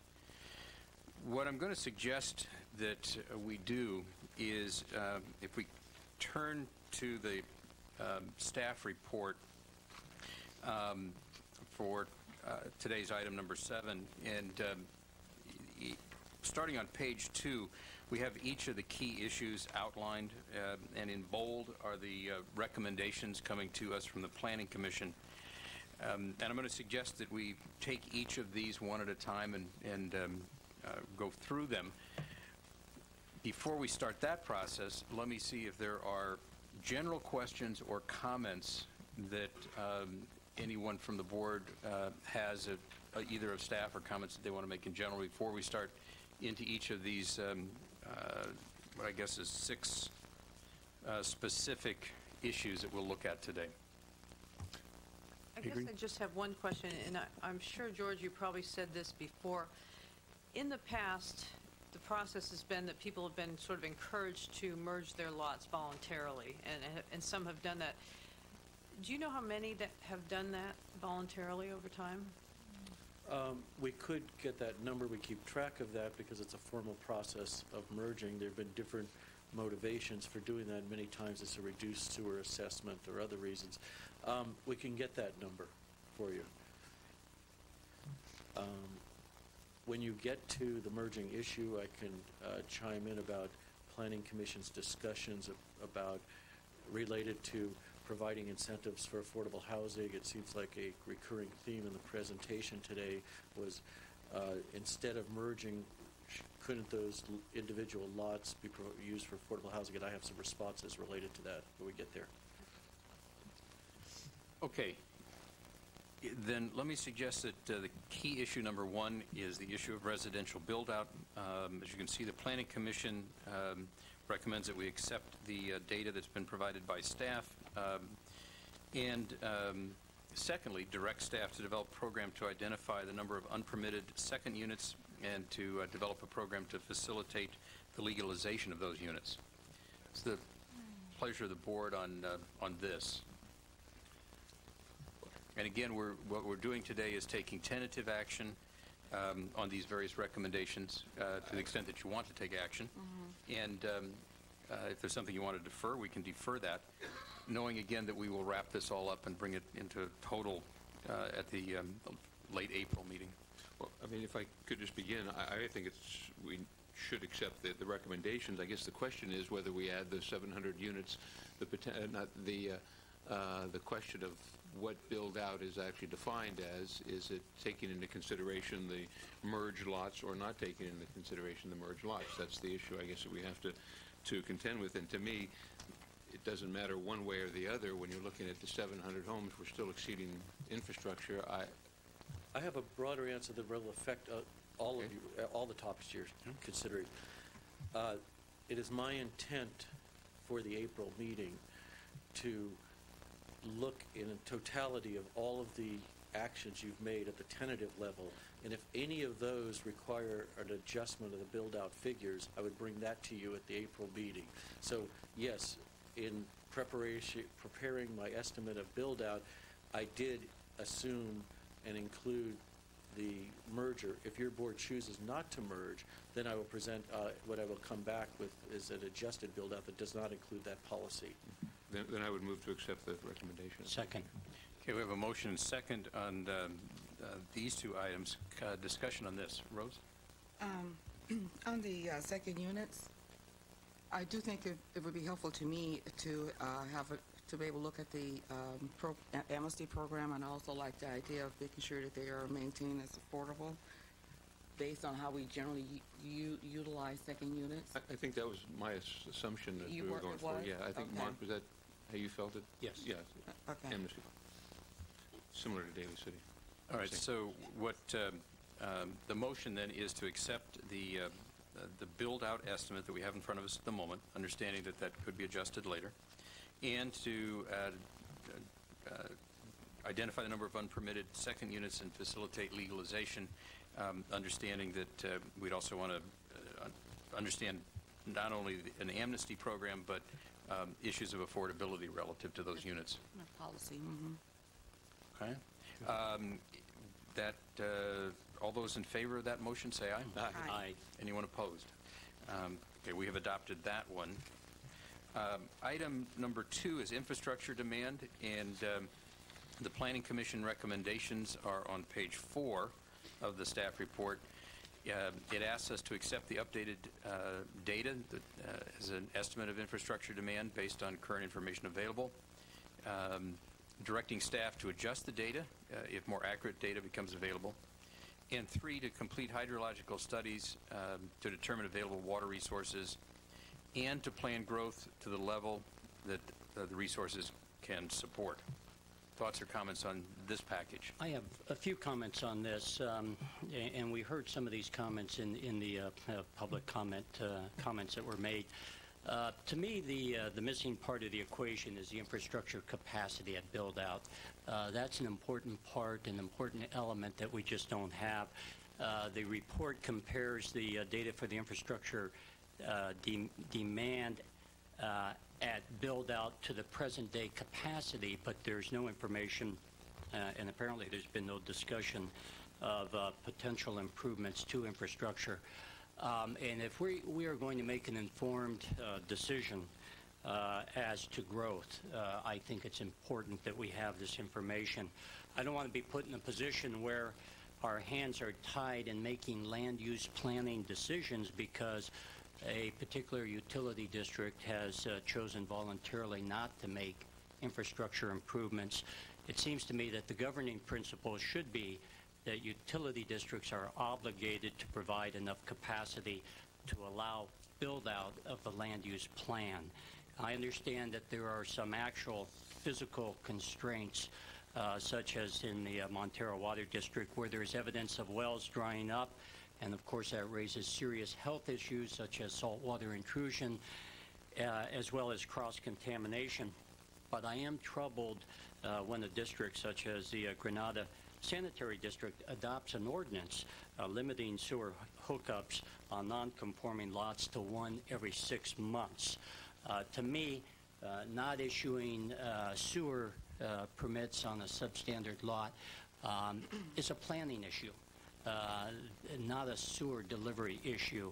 And and quite frankly, I'm surprised that ordinance hasn't been challenged by a property owner. Now, the board may decide to limit growth to 1%, uh, and, and that's fine. I, I, I don't know where the, the board is going to go on the growth issue. I haven't decided yet myself. All I'm saying is that we should make that decision, and we shouldn't allow uh, a, some utility district to make that decision for us. And in order for us to make uh, fully informed, intelligent, intelligent decisions on growth, um, I would like to request the information that's missing. And I think it's important uh, that we receive from the utility districts, all of them, specific reports as to their view of capacity, their long-term plans to service all the residents of their respective districts, and that would include existing residents and future residents at build-out. And I think it would probably be wise to uh, hear from our transportation agencies as well uh, as to plans for additional roads and improvements, CCAG and Caltrans and others. That's all relevant information that we need to have. Someone made the comment earlier about having a coordinated effort. I agree with that. This would be more of a coordinated effort. We need to look at long-range plans by the uh, utility districts, uh, and so that would be uh, my suggestion. And, and I, and while I have the microphone, I'm just going to say that I, the comments that were made regarding CPALs and the development uh, di- disabled individuals, I think we should make accommodations for that facility. You you know, and, and I, I think Mark's making some very good points because the struggle here is that, and- and I'd like to find out where we can fit into that equation. We're almost in a catch-22, as I see it. And if we were to go forward and find, develop a level of planning for build-out at a particular level number down the road, and it was greater than what we have here, or it did show that an infrastructure was inadequate to meet those needs, how we can't control those agencies that are making those decisions, as Mark was saying. How, how there's the catch-22. How do we then be responsible in planning, saying that we would allow this level of development, yet there is no control over this body to guarantee that infrastructure? And I guess that's that. That's and I think it fits right into what you're saying, Mark. It's a circular situation. Yeah. And we need to get that information before we can make these decisions. And, and, uh, and it fits in with this item C uh, that, that you had commented on, Jerry, at this meeting. I had mentioned at the last meeting, uh, we're waiting for these hy- uh, hydrological studies um, uh, to determine available water resources, and then we're going to plan growth at, at the level the resources can support. Um, it would be nice to have as much information as possible. At least I'm suggesting at this point that we we receive uh, reports from the utility districts. It, it sounds to me if, if the, the board wants to move in the direction that you're suggesting, uh, Mark, that what we should do at this point is um, um, not adopt tentatively these planning commission recommendations, but rather uh, request that uh, uh, we seek data from the uh, utility districts uh, along the lines that you're suggesting, uh, and, and I would, I think the transit districts also, transit agencies. Um, and if that's the pleasure of the board, um, in order to give the agencies time to respond, we might want to um, ask to have that in time for, have staff work to figure out how to get that in time for our March 29th meeting, when we would be discussing the um, uh, annual residential growth rate limit, and can maybe link that discussion. I agree, and that would be uh, my motion. I'll second that motion. Okay. Uh, The motion is to uh, defer action on the Planning Commission recommendations and to seek additional information from the utilities and transit agencies. Uh, All those in favor say aye. Aye. Anyone opposed? Okay. Um, Item number three is uh, traffic mitigation requirements, and um, here, uh, the Planning Commission uh, is recommending that we continue local road mitigation fees, that we apply the CCAG requirements, um, continue to apply the CCAG requirements, projects generating more than 100 peak uh, hour trips, uh, that we require TDMs for projects that generate less than 100 peak hours and are not exempt from CEQA, um, and study expanding shuttle service between the Midcoast and the Bayside. Uh, Thoughts on this package? You know, I'm, I'm concerned that some of these issues will be developed in the further analysis that we get. I mean, I hate to punt in here and going off to, you know, moving it out a little further, but, but I think that the analysis that we've asked for may develop or indicate some other traffic mitigation requirements that come from that, or some other improvements that could be in place to, to resolve it. And I think it, when you look at then going into the next issues, uh, of course, not number four, but number five, the merger of substandard lots, I think that's, we need the information that we requested before in order to, to really see if, if there's a problem that needs to be addressed by requiring merger. Okay.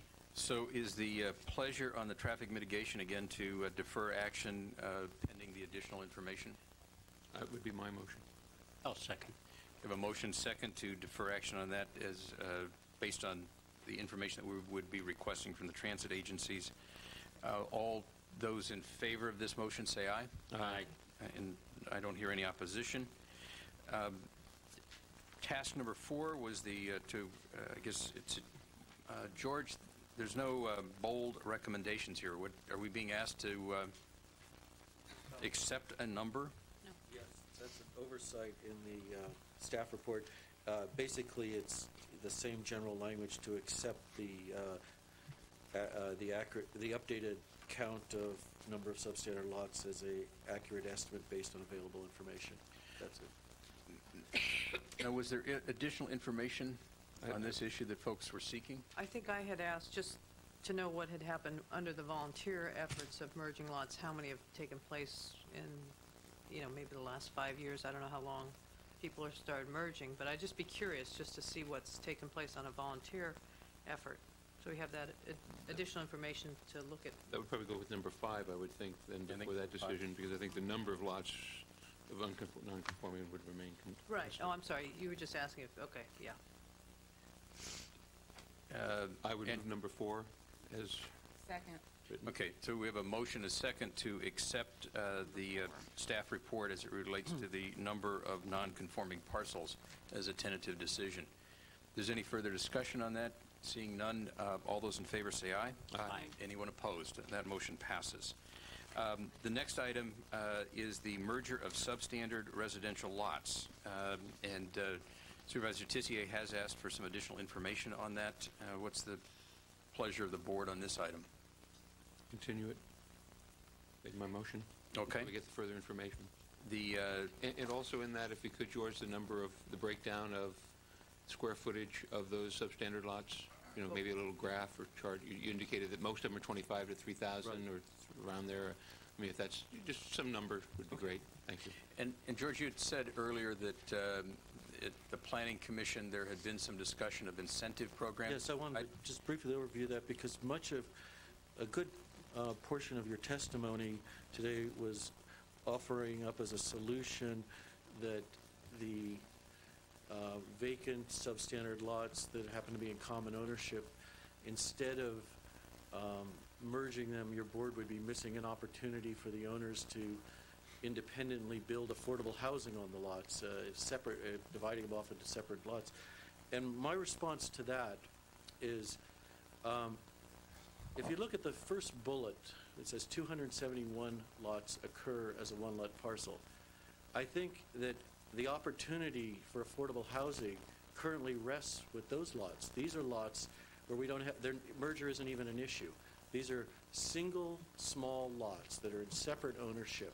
And I, if we were to focus, um, focus our energies towards affordable housing, we have a pool of lots that are, a target pool that are ready and would not be affected by a merger proposal. And I think that sh- could be uh, the emphasis for affordable housing in response to the affordable housing arguments that have been made. Now, w- the Planning Commission wrestled with this. Uh, the- This was not the, this is not the first time the uh, uh, concept of incentives came up. The Planning Commission asked staff to develop an incentive program where um, a person who owns one of the 271 vacant one parcel, one lot parcels, there would be an incentive for them to develop that as an affordable unit versus building a market rate unit. And staff had prepared a bonus program uh, as an incentive where the um, applicant, the owner, could voluntarily choose to build an affordable unit on one of those lots, and there would be a bonus floor area granted to that owner. They'd be allowed to build a marginally larger house than um, those, those owners who, who chose to build a market rate unit. So even though, it would still be a small, a house that's, a small house on a small lot, but it could be a larger small house if you chose to go affordable. We developed this program and went back to the planning commission, and there was a community opposition. The community was saying, yes, we want affordable housing, but we don't want it this way. We don't want a marginally, we don't want, I don't use the term marginally, it diminishes it, but we don't want a larger house. We want the smallest house on a substandard lot. So we were working on an incentive for people who had one parcel substandard lots, that there'd be an opportunity, a voluntary incentive to build affordable housing. The Planning Commission rejected that one approach. However, they did, the Planning Commission did um, request that we come back with a comprehensive evaluation of alternate approaches for affordable housing on non-conforming par- conforming parcels after your board, um, after these proceedings. Uh, I, again, um, that takes care of the parcels, the, the lots that are in Yeah, single George, ownership. I- I think there's, um, my sense is there is greater interest in understanding um, for the other lots where they're, you know, uh, the 944 that are grouped in two-lot parcels or the 354 in three-lot parcels, um, what are the incentives, uh, what kinds of programs can be put together to, in, to encourage the voluntary merger of those lots? And Supervisor Tissier's question, what's been our history of, of any current voluntary effort that we've had? Okay, I'll answer both of those. Uh, The outcome of the process that Supervisor Gordon uh, spearheaded, the task force, set up a two-tier approach to house size on mid-coast parcels. And an incentive was built in, um, disincentive was built in. If you, if you had a small lot, you had a substandard lot, you would have a smaller house size limit. But if you chose to merge the two together, you would get the uh, larger house size limit that goes with standard sized parcels. So it was an incentive to voluntarily merge uh, by get, being able to build a house with a larger floor area ratio if you chose to do that. We, we could explore other, uh, that approach. Currently, the distinction between a substandard lot, a non-conforming parcel, and a conforming parcel is a several, is, is, they're close. It's .48 and .53. One could reduce the distinction and say if you have a non-conforming parcel, it'll be .4 or the proportionality rule, but if you merge them, you'll get the, um, you'll get the larger number. Yeah, I- So we could, we can, we can look at, we, we have looked at uh, different incentives. We have an incentive on board. And, and uh, people have voluntarily done it, have voluntarily merged for other reasons, uh, not related to affordable housing, and mainly it was because of a sewer assessment fees. Okay. Uh, I think, I can't remember whether it was a motion, but if not, I think there needs to be a motion uh, to um, uh, defer action on this until we get the additional information that's been requested. Yeah, and some examples of those incentive programs that you're talking about that we've had before, and maybe what you gave to the planning commission. Mhm. Okay. Be nice, I'd like to to s- be nice to see those. Okay. So Jerry, is that a motion? That is a motion, yes. Do I have a second? Second. Um, There's no further discussion. All those in favor say aye. Aye. Excuse me, that motion passes also. Uh, The final, uh, or number six, is the impervious surface limit uh, and the winter grading. Here, um, the Planning Commission has recommended that we maintain the existing stop program, um, including uh, future program improvements, uh, that we limit the amount of parcel area covered by pavement and ground level impervious surfaces at 10 percent, uh, and that uh, we prohibit winter grading uh, unless it's sh- shown that rigorous site containment will occur.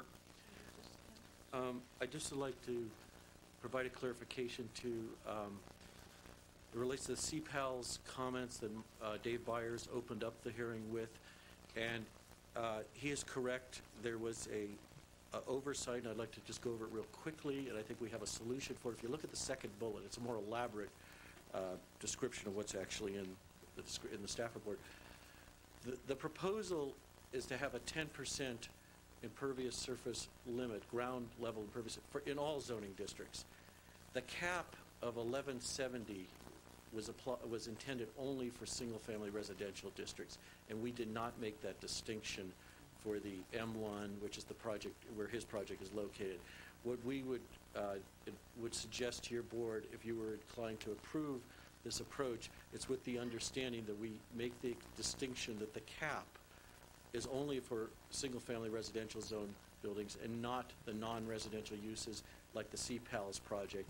And so they would still be subject to a 10% impervious surface, but be based on their larger parcel, as he acknowledged that there was a larger parcel. And there's also an exemption for non-residential developments recognizing uh, parking lots, where if you can demonstrate that you can contain the runoff by other engineering ways, like cisterns or holding basins and things like that, or, or by using porous materials, you can get an exception to the 10%. And so basically, our proposal is to tinker, we- we would recommend that you approve this with the understanding that we drop the cap, uh, I mean, excuse me, that the cap of 1170 square feet only applies to, we clarify that it only applies to R1 districts. And that I, we believe that would take care of the CPALS problem. Does it also? And that was our intent all along. Does it also, also take care of the planned development of affordable housing that he mentioned earlier, too? If that's not R1, then I would get... Oh, I see, yes, that's not R1, it would take that care of that as well. Thank you. Yes. Could I just ask if maybe, rather than, since we're going to be coming back with so many of these, I'd like to see that sort of spelled out so we're certain that it fits within the guidelines. I don't want to wake up tomorrow and find out we just tied our hands to something that doesn't fit the mold of, I get the sense we're all looking at the same project and thinking that's a good thing, and I just don't want to tie our hands and find out that we did it too quickly. Yeah, let me, just- I I guess, Adrienne, I make two comments. I I don't want to tie our hands, but I also want to prejudge the project that we haven't seen. Well, that's But, true. um, And these are, these are all tentative decisions, too, so Yeah. we'll we'll have a second chance. uh, I, I. I do think, though, that uh, I, I would, I personally would not have a problem with tentatively approving this with the, the change that George has suggested, knowing that when we come back, we'll, we want to make sure that we're really honed in on that. to- I agree. You want to make a motion to that effect? Uh, I would uh, move that uh, tentative approval of the, uh, of item number six uh, with the uh, suggested uh, uh, changes that uh, Mr. Bergman just indicated. I- I'll second that, and I also want to make sure that you realize, I'm not prejudging the pro- project, but I also want to make sure that we don't do something that, in the reverse, prejudges what we're doing. That's where I was. Absolutely, I'm- I agree with you fully. Um, We have a motion, a second. Uh, All those in favor say aye. Aye. All right, that is approved. George, there's an item number seven, which, uh, on the staff report, a grandfathering pro- provision which you did not uh, previously discuss. Do you want us to take action on, It's tentative action on that? It's not necessary to take action on this today. This would be something that you would take action on your final hearing. I will give a brief overview since I really haven't addressed it. Um, Typically, your board, uh, mainly out of a sense of fair play, acknowledges that certain projects at a certain stage in the development process when the rules change, and usually when you um, make substantial land use changes, you have a grandfathering uh, provision that would exempt projects that you have called in the pipeline. And um, this, what we're recommending is that for all of the changes, for the entire project, hence at the last meeting, that there be such a grandfathering provision so that when we get close to the approval and the ultimate coastal commission's consideration, someone who has already drawn up plans, has already been, we've already accepted the plans, that they would not be sent back to the drawing board because something changed a couple of days later. All right, well, we will take that up then um, uh, at- in the wrap-up session at the end of April. The, uh, any uh, further comments or questions from the board? Any further direction to staff that's necessary at this point? I have a question of George. Do you wake up in the middle of the night just thinking of this stuff all the time, George? It just goes through your... Uh, I would remind uh, the public that uh, the uh, next public hearing on the uh, LCP update is scheduled for March 8th. The issues to be discussed at that time are non-conforming parcel development controls, commercial and employment opportunities, the airport overlay, development controls in rural zoning districts, rural residential area boundary, lot merger in the mid-coast rural areas, um, residential uses in non-residential districts. Um, With that, uh, the uh, board will um, um, end this part of the meeting. We do have a 1:30 uh, time set service awards to honor employees of the county who have been with us for 10, 20, 30, 40 years. Uh, So uh, the board will uh, reconvene for that at 1:30. Thank you.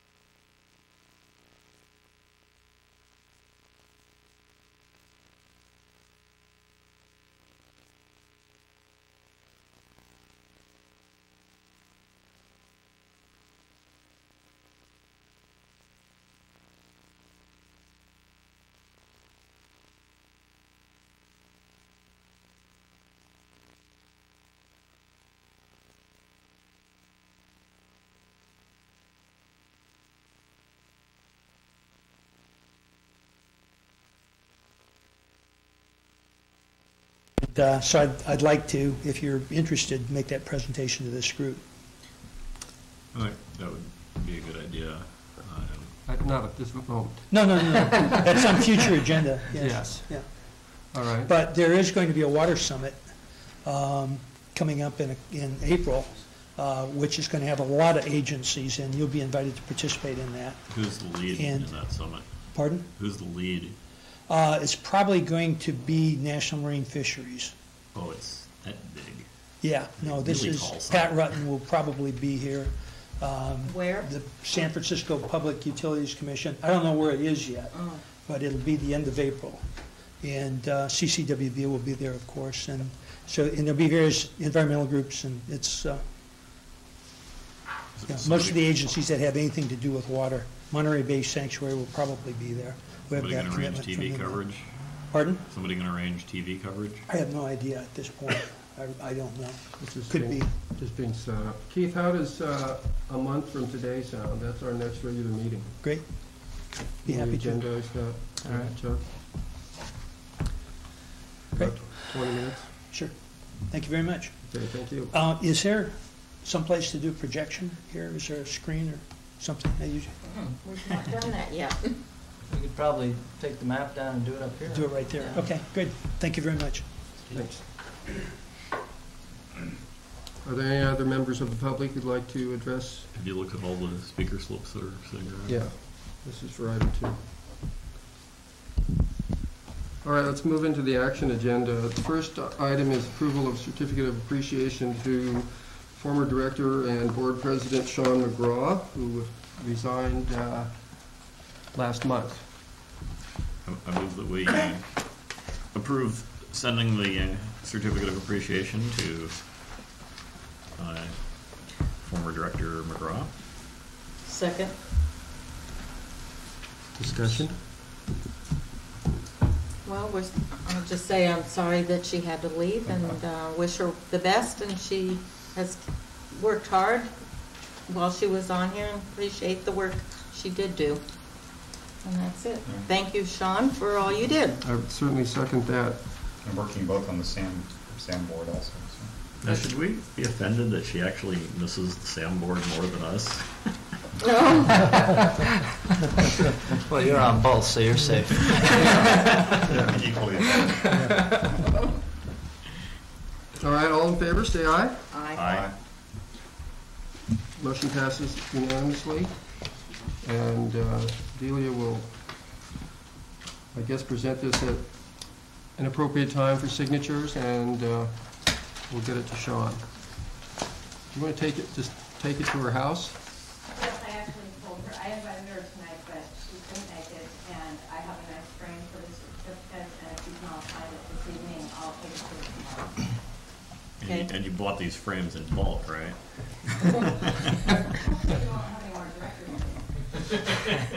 Not any we appreciate.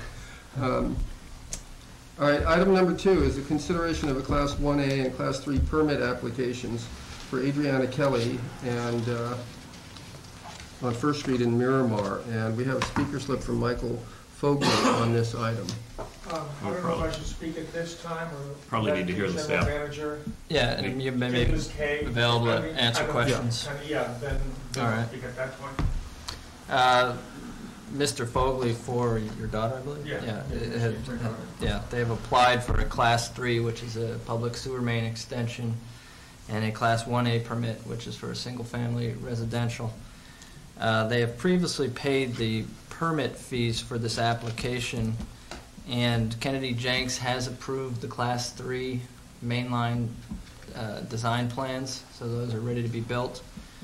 Um, I would rec- recommend to your board that you approve the cla- Class 3 permit application and the Class 1A permit application, subject to the construction of the Class, Class 3, uh, final approval of the design plans, and, uh, lost my train of thought. Construction of the line, final uh, design approval. Are you gonna meet and with him all- during the next month Yeah. anyway and clear up any loose ends? that Yeah, oh, might and the payment of all applicable fees is the third.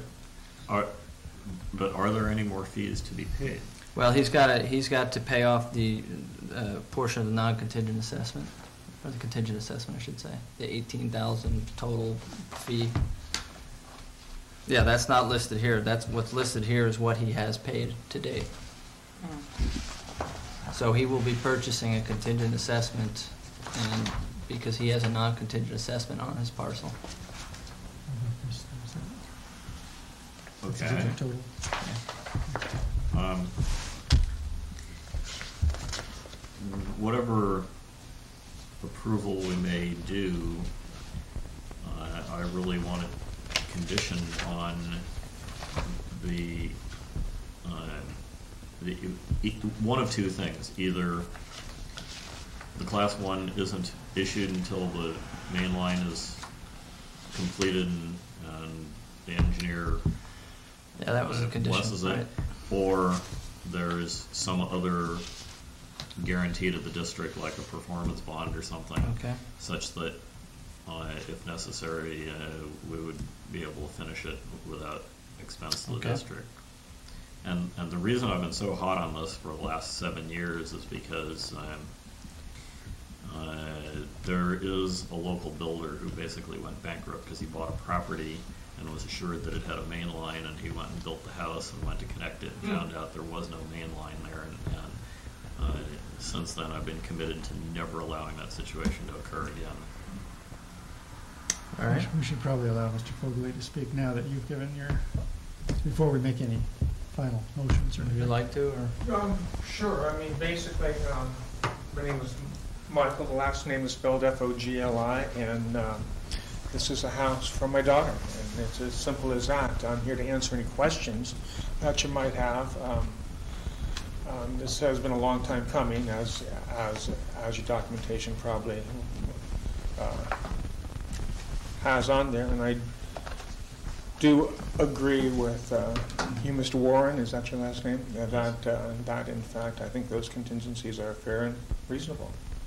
You know, to have it built, to have the funds there to just make sure we'll get done. All right. And if you have any questions, I'm here to answer W- them. Would it be um, a hardship for you at this point? Because I know that performance bonds cost money. Would it be a hardship for you to have, uh, you know, i- uh, assuming the board approves the the permits, for the class one approval to be conditioned that it's not actually issued by staff until the uh, main line is completed? Um, As long as that's written out and spelled out, I really wouldn't have a problem with that because, because one goes with the other and uh, you need a main line to hook up a sewer and, and it seems logical to me that I would, uh, to have that done. I have no problem with that, you Well, know. there- As the far as a reason I ask performance bond, I've never gotten a performance bond. I don't know what they are, how they work or anything like that. So, I mean, I couldn't tell you about a performance bond, but to pay somebody to put in a sewer would probably be the way to do it, I would think.